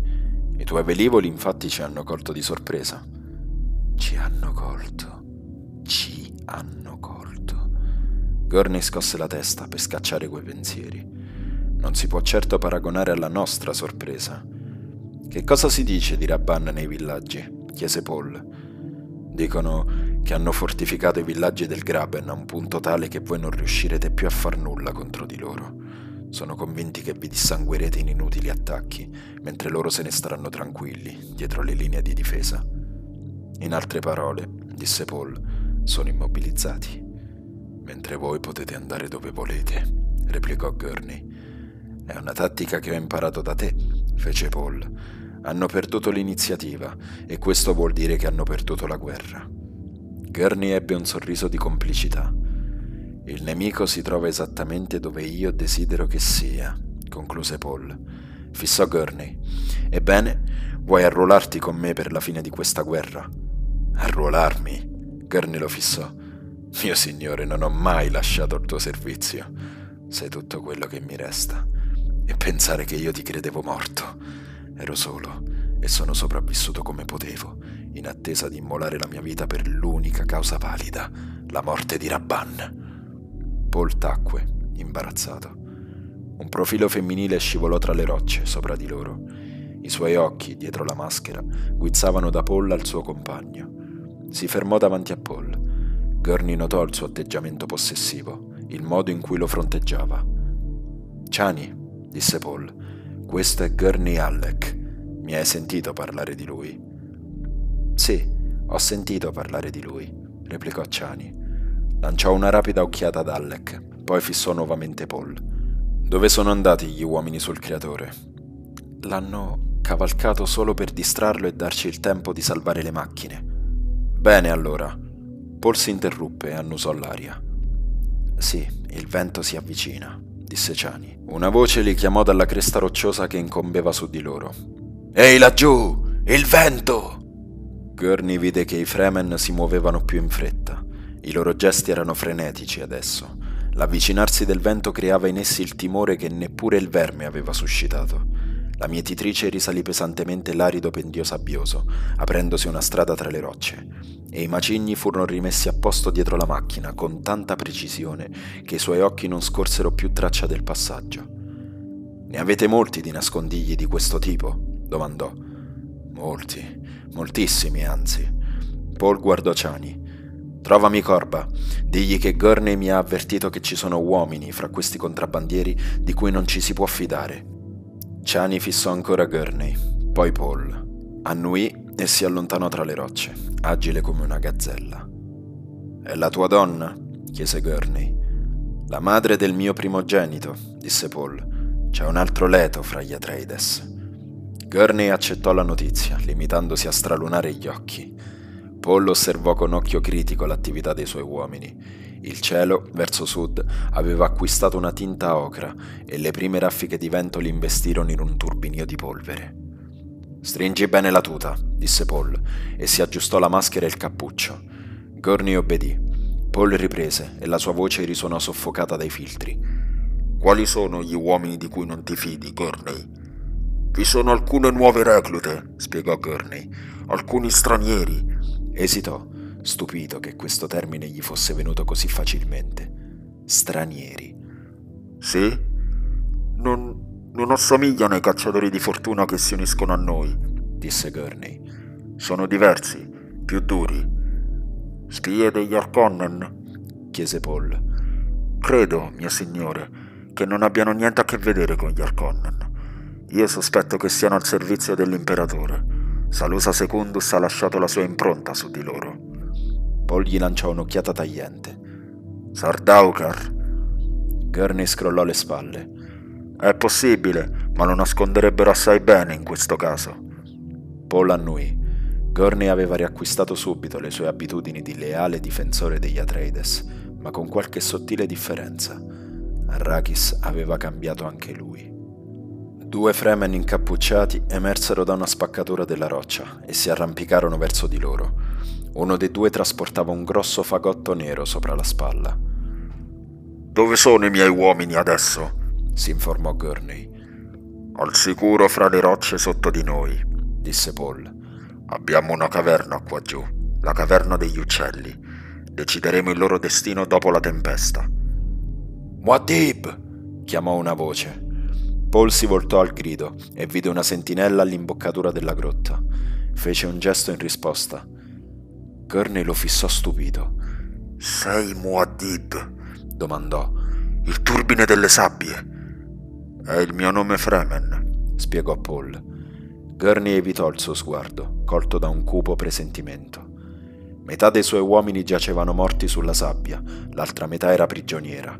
Non gli importava delle nuove reclute, ma fra gli altri c'era brava gente, amici, uomini nei cui confronti sentiva una certa responsabilità. Decideremo il loro destino dopo la tempesta. Questo aveva detto Paul. Anzi, Muad'Dib e Gurney ricordò le storie che si raccontavano di Muad'Dib, il Lisan al-Gaib, come avesse spellato un ufficiale degli Arconnen per farne pelle di tamburo e come amasse circondarsi dei commandos della morte, i Fedai Kin, che si precipitavano nella lotta alzando inni alla morte. Lui. I due Fremen che risalivano la roccia balzarono in silenzio su uno spuntone davanti a Paul e si immobilizzarono. Quello dal volto scuro disse tutto a posto, Muad'Dib. Meglio andare sotto adesso. D'accordo. Gurney valutò la voce dell'uomo, comando e preghiera insieme. Era Stilgar, un'altra figura leggendaria fra i Fremen. Paul fissò il fagotto nero sulla spalla dell'altro. Corba, che cosa c'è là dentro? Stilgar rispose. Era nel trattore, alle iniziali del tuo amico qui presente, e contiene un baliset. Ti ho sentito parlare tante volte della bravura di Gurney Halleck al Baliset. Gurney lo studiò. Vide la barba nera che spuntava dal bordo della maschera, gli occhi da falco, il naso aguzzo. Hai un compagno che pensa, mio signore, disse Gurney. Grazie, Stilgar. Stilgar accennò al Fremen chiamato Corba di passare il fagotto a Gurney e replicò: Ringrazio il tuo signore, il duca il suo favore ti ha guadagnato l'ammissione fra noi. Gurney accettò il fagotto, perplesso a causa della durezza che aveva percepito nelle parole di Stilgar. L'uomo aveva parlato in tono di sfida e Gurney si chiese se il Fremen, per caso, non provasse gelosia. Lui era Gurney Halleck, un uomo che conosceva Paul da lungo tempo, ancora prima di Arrakis, un uomo che aveva condiviso con Paul un antico cameratismo da cui Stilgar sarebbe sempre stato escluso. Voglio che voi due siate amici, disse Paul. Stilgar il Fremen è un nome famoso, dichiarò Gurney. Io sarò onorato di contare tra i miei amici chiunque abbia ucciso degli Arconnen. Stringerai la mano al mio amico Gurney Alec Stilgar? chiese Paul. Lentamente Stilgar porse la mano e strinse quella che Gurney gli offriva, una mano che la spada, anno dopo anno, aveva reso callosa. Pochi ignorano il nome di Gurney Halleck, disse a sua volta. Lasciò la presa e si voltò verso Paul. La tempesta si precipita su di noi. Andiamo, disse Paul. Stilgar si voltò, guidandoli attraverso le rocce, lungo un sentiero serpeggiante che li portò dentro una spaccatura stretta e tenebrosa, fino al basso ingresso di una caverna. Un gruppo di uomini si affrettò a sigillarla non appena furono passati. Alcuni globi luminosi rivelarono un'ampia scala scavata nella roccia, con un soffitto a cupola e una sporgenza lunga e piatta che si alzava su un lato e dava accesso a un corridoio. Paul balzò sulla sporgenza, seguito da Gurney, e gli fece strada lungo il corridoio. Gli altri si diressero verso un altro passaggio che si apriva di fronte all'entrata. Paul condusse Alec attraverso un'anticamera e di qui a una stanza rivestita di tende rosso vino. Qui Resteremo soli per un po', disse Paul. Gli altri rispetteranno la mia. L'allarme, suonato su un gong, esplose con enorme fracasso nella grotta d'entrata, seguito da urla e da un clangore d'armi. Paul si girò di scatto, precipitandosi verso l'anticamera e la sporgenza rocciosa. Gurney venne dietro di lui, la spada sguainata. Sotto di loro una mischia tumultuante di figure in lotta nascondeva il pavimento della caverna. Paul valutò in un attimo la scena, distinguendo i mantelli e i burkas dai costumi degli altri. I sensi che la madre gli aveva affinato con gli anni gli indicarono un fatto significativo. I Fremen si battevano contro un gruppo di uomini vestiti da contrabbandieri, ma raggruppati a tre per tre, disposti a triangolo sotto la pressione degli avversari. L'abitudine di combattere corpo a corpo era il marchio dei Sardaukar imperiali. All'improvviso, un Fedaykin nel tumulto vide Paul e il suo grido di battaglia si innalzò, righeggiando nella caverna. Muad'Dib! Muad'Dib! Muad'Dib! Ma anche gli altri occhi avevano visto Paul. Un coltello nero fu scagliato contro di lui. Paul lo schivò, udì la lama colpire la roccia alle sue spalle, si voltò e vide Gurney che lo raccoglieva. I triangoli degli assalitori venivano respinti adesso. Gurney alzò il coltello davanti agli occhi di Paul e indicò la spirale gialla, sottile come un capello, e il leone dalla criniera dorata e gli occhi sfaccettati sull'impugnatura, i simboli dell'impero. Sardaukar, senza alcun dubbio. Paul avanzò sulla sporgenza. Soltanto tre Sardaukar erano ancora vivi. Corpi sanguinanti erano sparsi per tutta la caverna. Fermatevi! urlò. Il duca Paul Atreides vi ordina di fermarvi. I combattenti ondeggiarono, esitarono. Voi, Sardaukar! urlò Paul ai tre che restavano. Per ordine di chi minacciate la vita di un duca regnante? E rapidamente, mentre i suoi uomini continuavano ad assalirli, Fermi, ho detto! Uno dei tre, messo alle strette, si raddrizzò. Chi dice che siamo Sardaukar? Paul prese il coltello a Gorney e lo sollevò. Questo lo dice. E allora chi dice che tu sia un duca regnante? domandò l'uomo. Paul fece un gesto verso i Fedaikin. Questi uomini dicono che io sono il duca regnante. Il vostro imperatore in persona ha assegnato Arrakis alla casa degli Atreides. Io sono la casa degli Atreides. Il Sardaukar rimase in silenzio, agitandosi nervosamente. Paul studiò l'uomo, alto, slavato, una pallida cicatrice che gli attraversava una guancia. Il suo atteggiamento tradiva rabbia e confusione, ma c'era ancora quell'orgoglio in lui, senza il quale un Sardaukar sarebbe parso nudo e con il quale sembrava sempre in uniforme. Paul lanciò un'occhiata a uno dei suoi luogotenenti Fedaikin. Corba, come mai sono armati? Avevano coltelli in tasche astutamente dissimulate nelle tute distillanti, disse Corba. Paul esaminò i morti e i feriti sparsi nella caverna, poi fissò nuovamente Corba. Non c'era bisogno di parole. Il luogotenente abbassò gli occhi. Dov'è Chani? Paul trattenne il respiro. Stilgar l'ha trascinata via. Corba indicò con la testa l'altro corridoio, guardò i morti e i feriti. Vi considero responsabile per questo errore, Muad'Dib. Quanti Sardaukar c'erano, Gurney? chiese Paul. Dieci. Paul saltò giù dalla sporgenza e attraversò la caverna, portandosi a un metro di distanza dal Sardaukar che aveva parlato. Sentì i Fedaykin che si tendevano. Non avrebbero voluto che Paul si esponesse in tal modo al pericolo. Essi desideravano impedire a tutti i costi che ciò avvenisse, perché nessun Fremen voleva perdere la saggezza di Muad'Dib. Senza voltarsi, Paul chiese al luogotenente: A quanto ammontano le nostre perdite? Quattro feriti e due morti, Muad'Dib. Paul colse un movimento dietro al Sardaukar Chani e Stilgar uscirono dall'altro corridoio, uno accanto all'altra. Paul riportò la sua attenzione al Sardaukar, fissando il bianco di quegli occhi di un altro mondo. Tu, qual è il tuo nome? gli chiese. L'uomo si irrigidì, lanciando occhiate a destra e a sinistra. Non provarci, lo consigliò Paul. È evidente che vi hanno ordinato di cercare e di distruggere Muad'Dib, e sono certo che siete stati voi a suggerire che si cercasse la spezia nell'alto deserto. Un'esclamazione soffocata di Gurney alle sue spalle suscitò un lieve sorriso sulle labbra di Paul.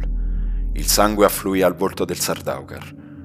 Ciò che tu vedi davanti a te è più di Muad'Dib, disse Paul. Sette dei vostri sono morti e solo due dei nostri. Tre a uno.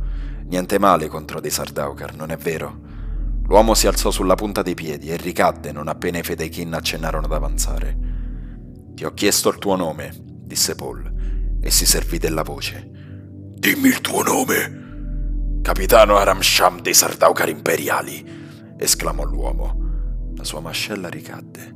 Fissò Paul sconvolto, distrutto. Fino a quel momento aveva considerato quella caverna una tana di barbari. Ora, però, non la pensava più così. Bene, capitano Aramsham, continuò Paul. Gli Arconnen pagherebbero cifre favolose per sapere quello che voi adesso sapete. E l'imperatore? Che cosa darebbe l'imperatore per sapere che un Atreides è ancora vivo, nonostante il suo tradimento? Il capitano guardò a destra e a sinistra, verso i due uomini che gli rimanevano. Paul poté quasi toccare i pensieri che turbinavano nella mente dell'uomo. I Sardaukar non si arrendevano mai, ma l'imperatore doveva sapere di questa minaccia. Sempre usando la sua voce, Paul disse Arrendetevi, capitano! L'uomo a sinistra di Aramsham balzò all'improvviso verso Paul, ma si scontrò col pugnale del capitano, che guizzò nel suo petto. L'assalitore stramazzò al suolo, sanguinante, la lama piantata nel cuore.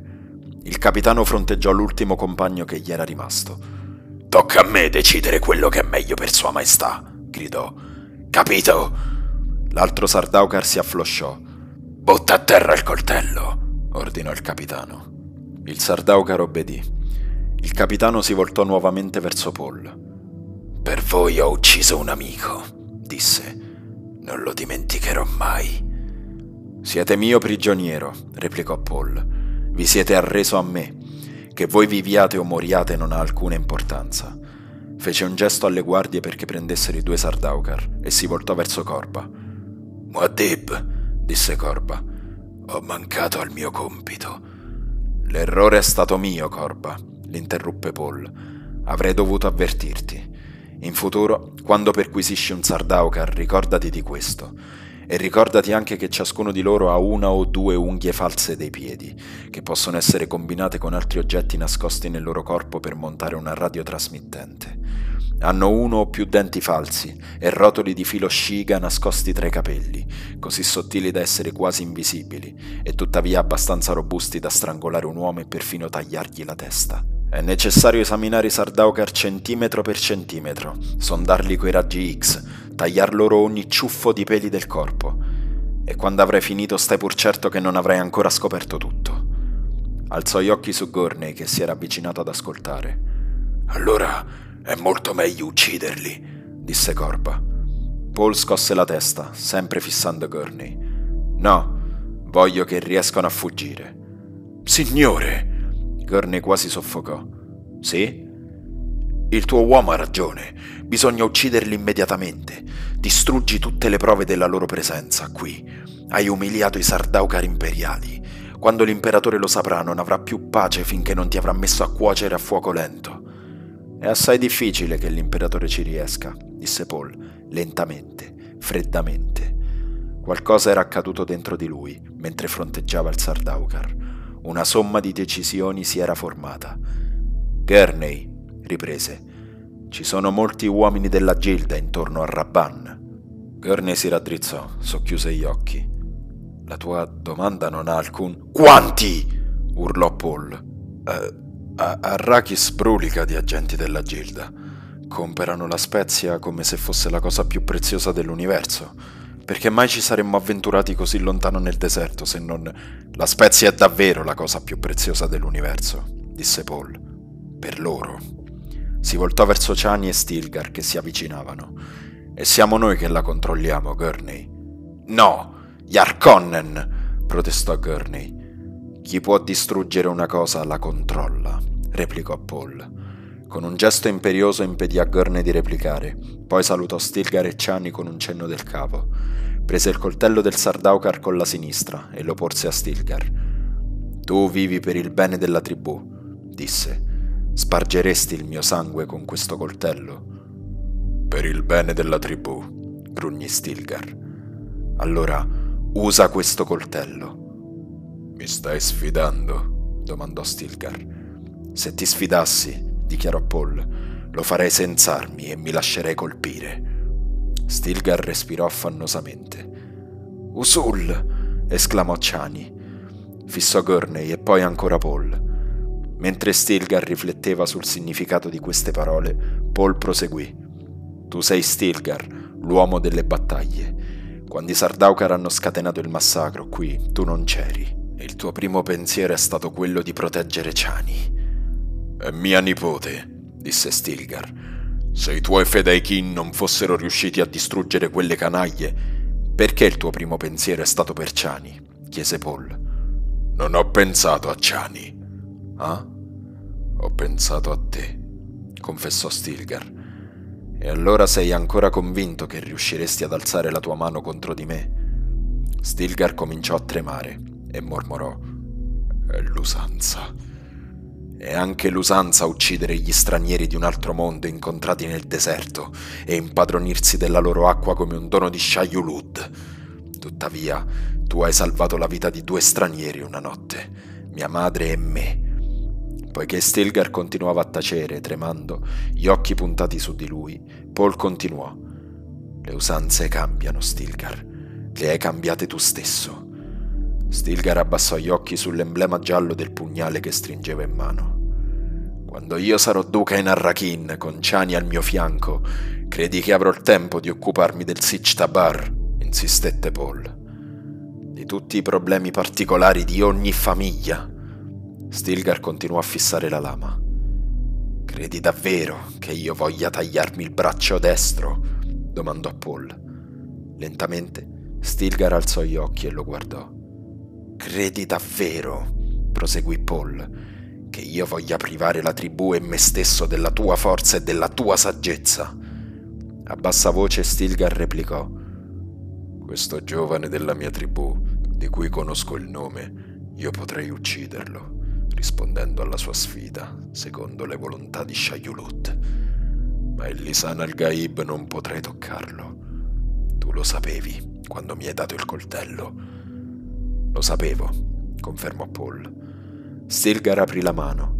Il coltello rimbalzò al suolo con un suono metallico. Le usanze cambiano, disse.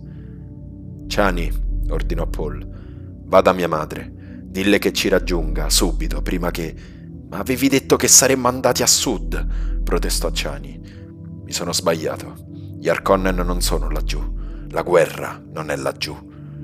Chani respirò profondamente e accettò tutto questo come le donne del deserto accettavano gli obblighi di quella vita, così intimamente legata alla morte. Porterai a mia madre un messaggio che soltanto le sue orecchie dovranno udire, disse Paul. Dille che Stilgar mi riconosce come duca di Arrakis e che bisogna fare in modo che i giovani lo accettino senza combattere. Chani guardò Stilgar. Fai come ti ha detto, borbottò Stilgar.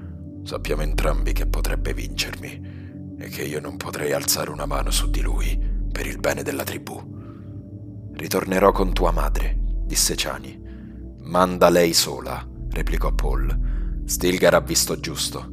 Io sono più forte quando tu sei al sicuro. Tu rimarrai nel Sitch. Lei fece per protestare, poi tacque. Siaia, aggiunse Paul, pronunciando il suo nome segreto. Poi distolse lo sguardo da lei e incontrò gli occhi fiammeggianti di Gurney. Dall'istante in cui Paul aveva nominato sua madre, tutto per Gurney era sprofondato in una coltre di nebbia. Tua madre, disse Gurney. Idaho ci ha salvato la notte del tradimento, spiegò Paul, con la mente ancora rivolta a Chani. Ora noi... Che cos'è accaduto a Duncan Idaho, mio signore? chiese Gurney. È morto, dandoci il tempo di fuggire.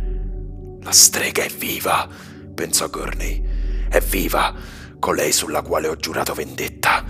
Ed è evidente che il duca ignora quale creatura gli ha dato la luce. Mostro, lei ha venduto suo padre agli Arconnen. Paul gli passò accanto e balzò nuovamente sulla sporgenza rocciosa. Si guardò intorno e vide che i morti e i feriti erano stati portati via. Pensò amaramente che questo sarebbe stato un altro capitolo della leggenda di Muad'Dib. Non ho neppure impugnato il coltello, ma si racconterà che oggi ho ucciso 20 Sardaukar con le mie mani. Gurney seguì Stilgar, insensibile al pavimento di roccia, ai globi luminescenti, travolto da un furore selvaggio. La strega è ancora in vita e quelli che ha tradito sono soltanto ossa in una tomba solitaria. Paul deve sapere la verità su di lei prima che io la uccida.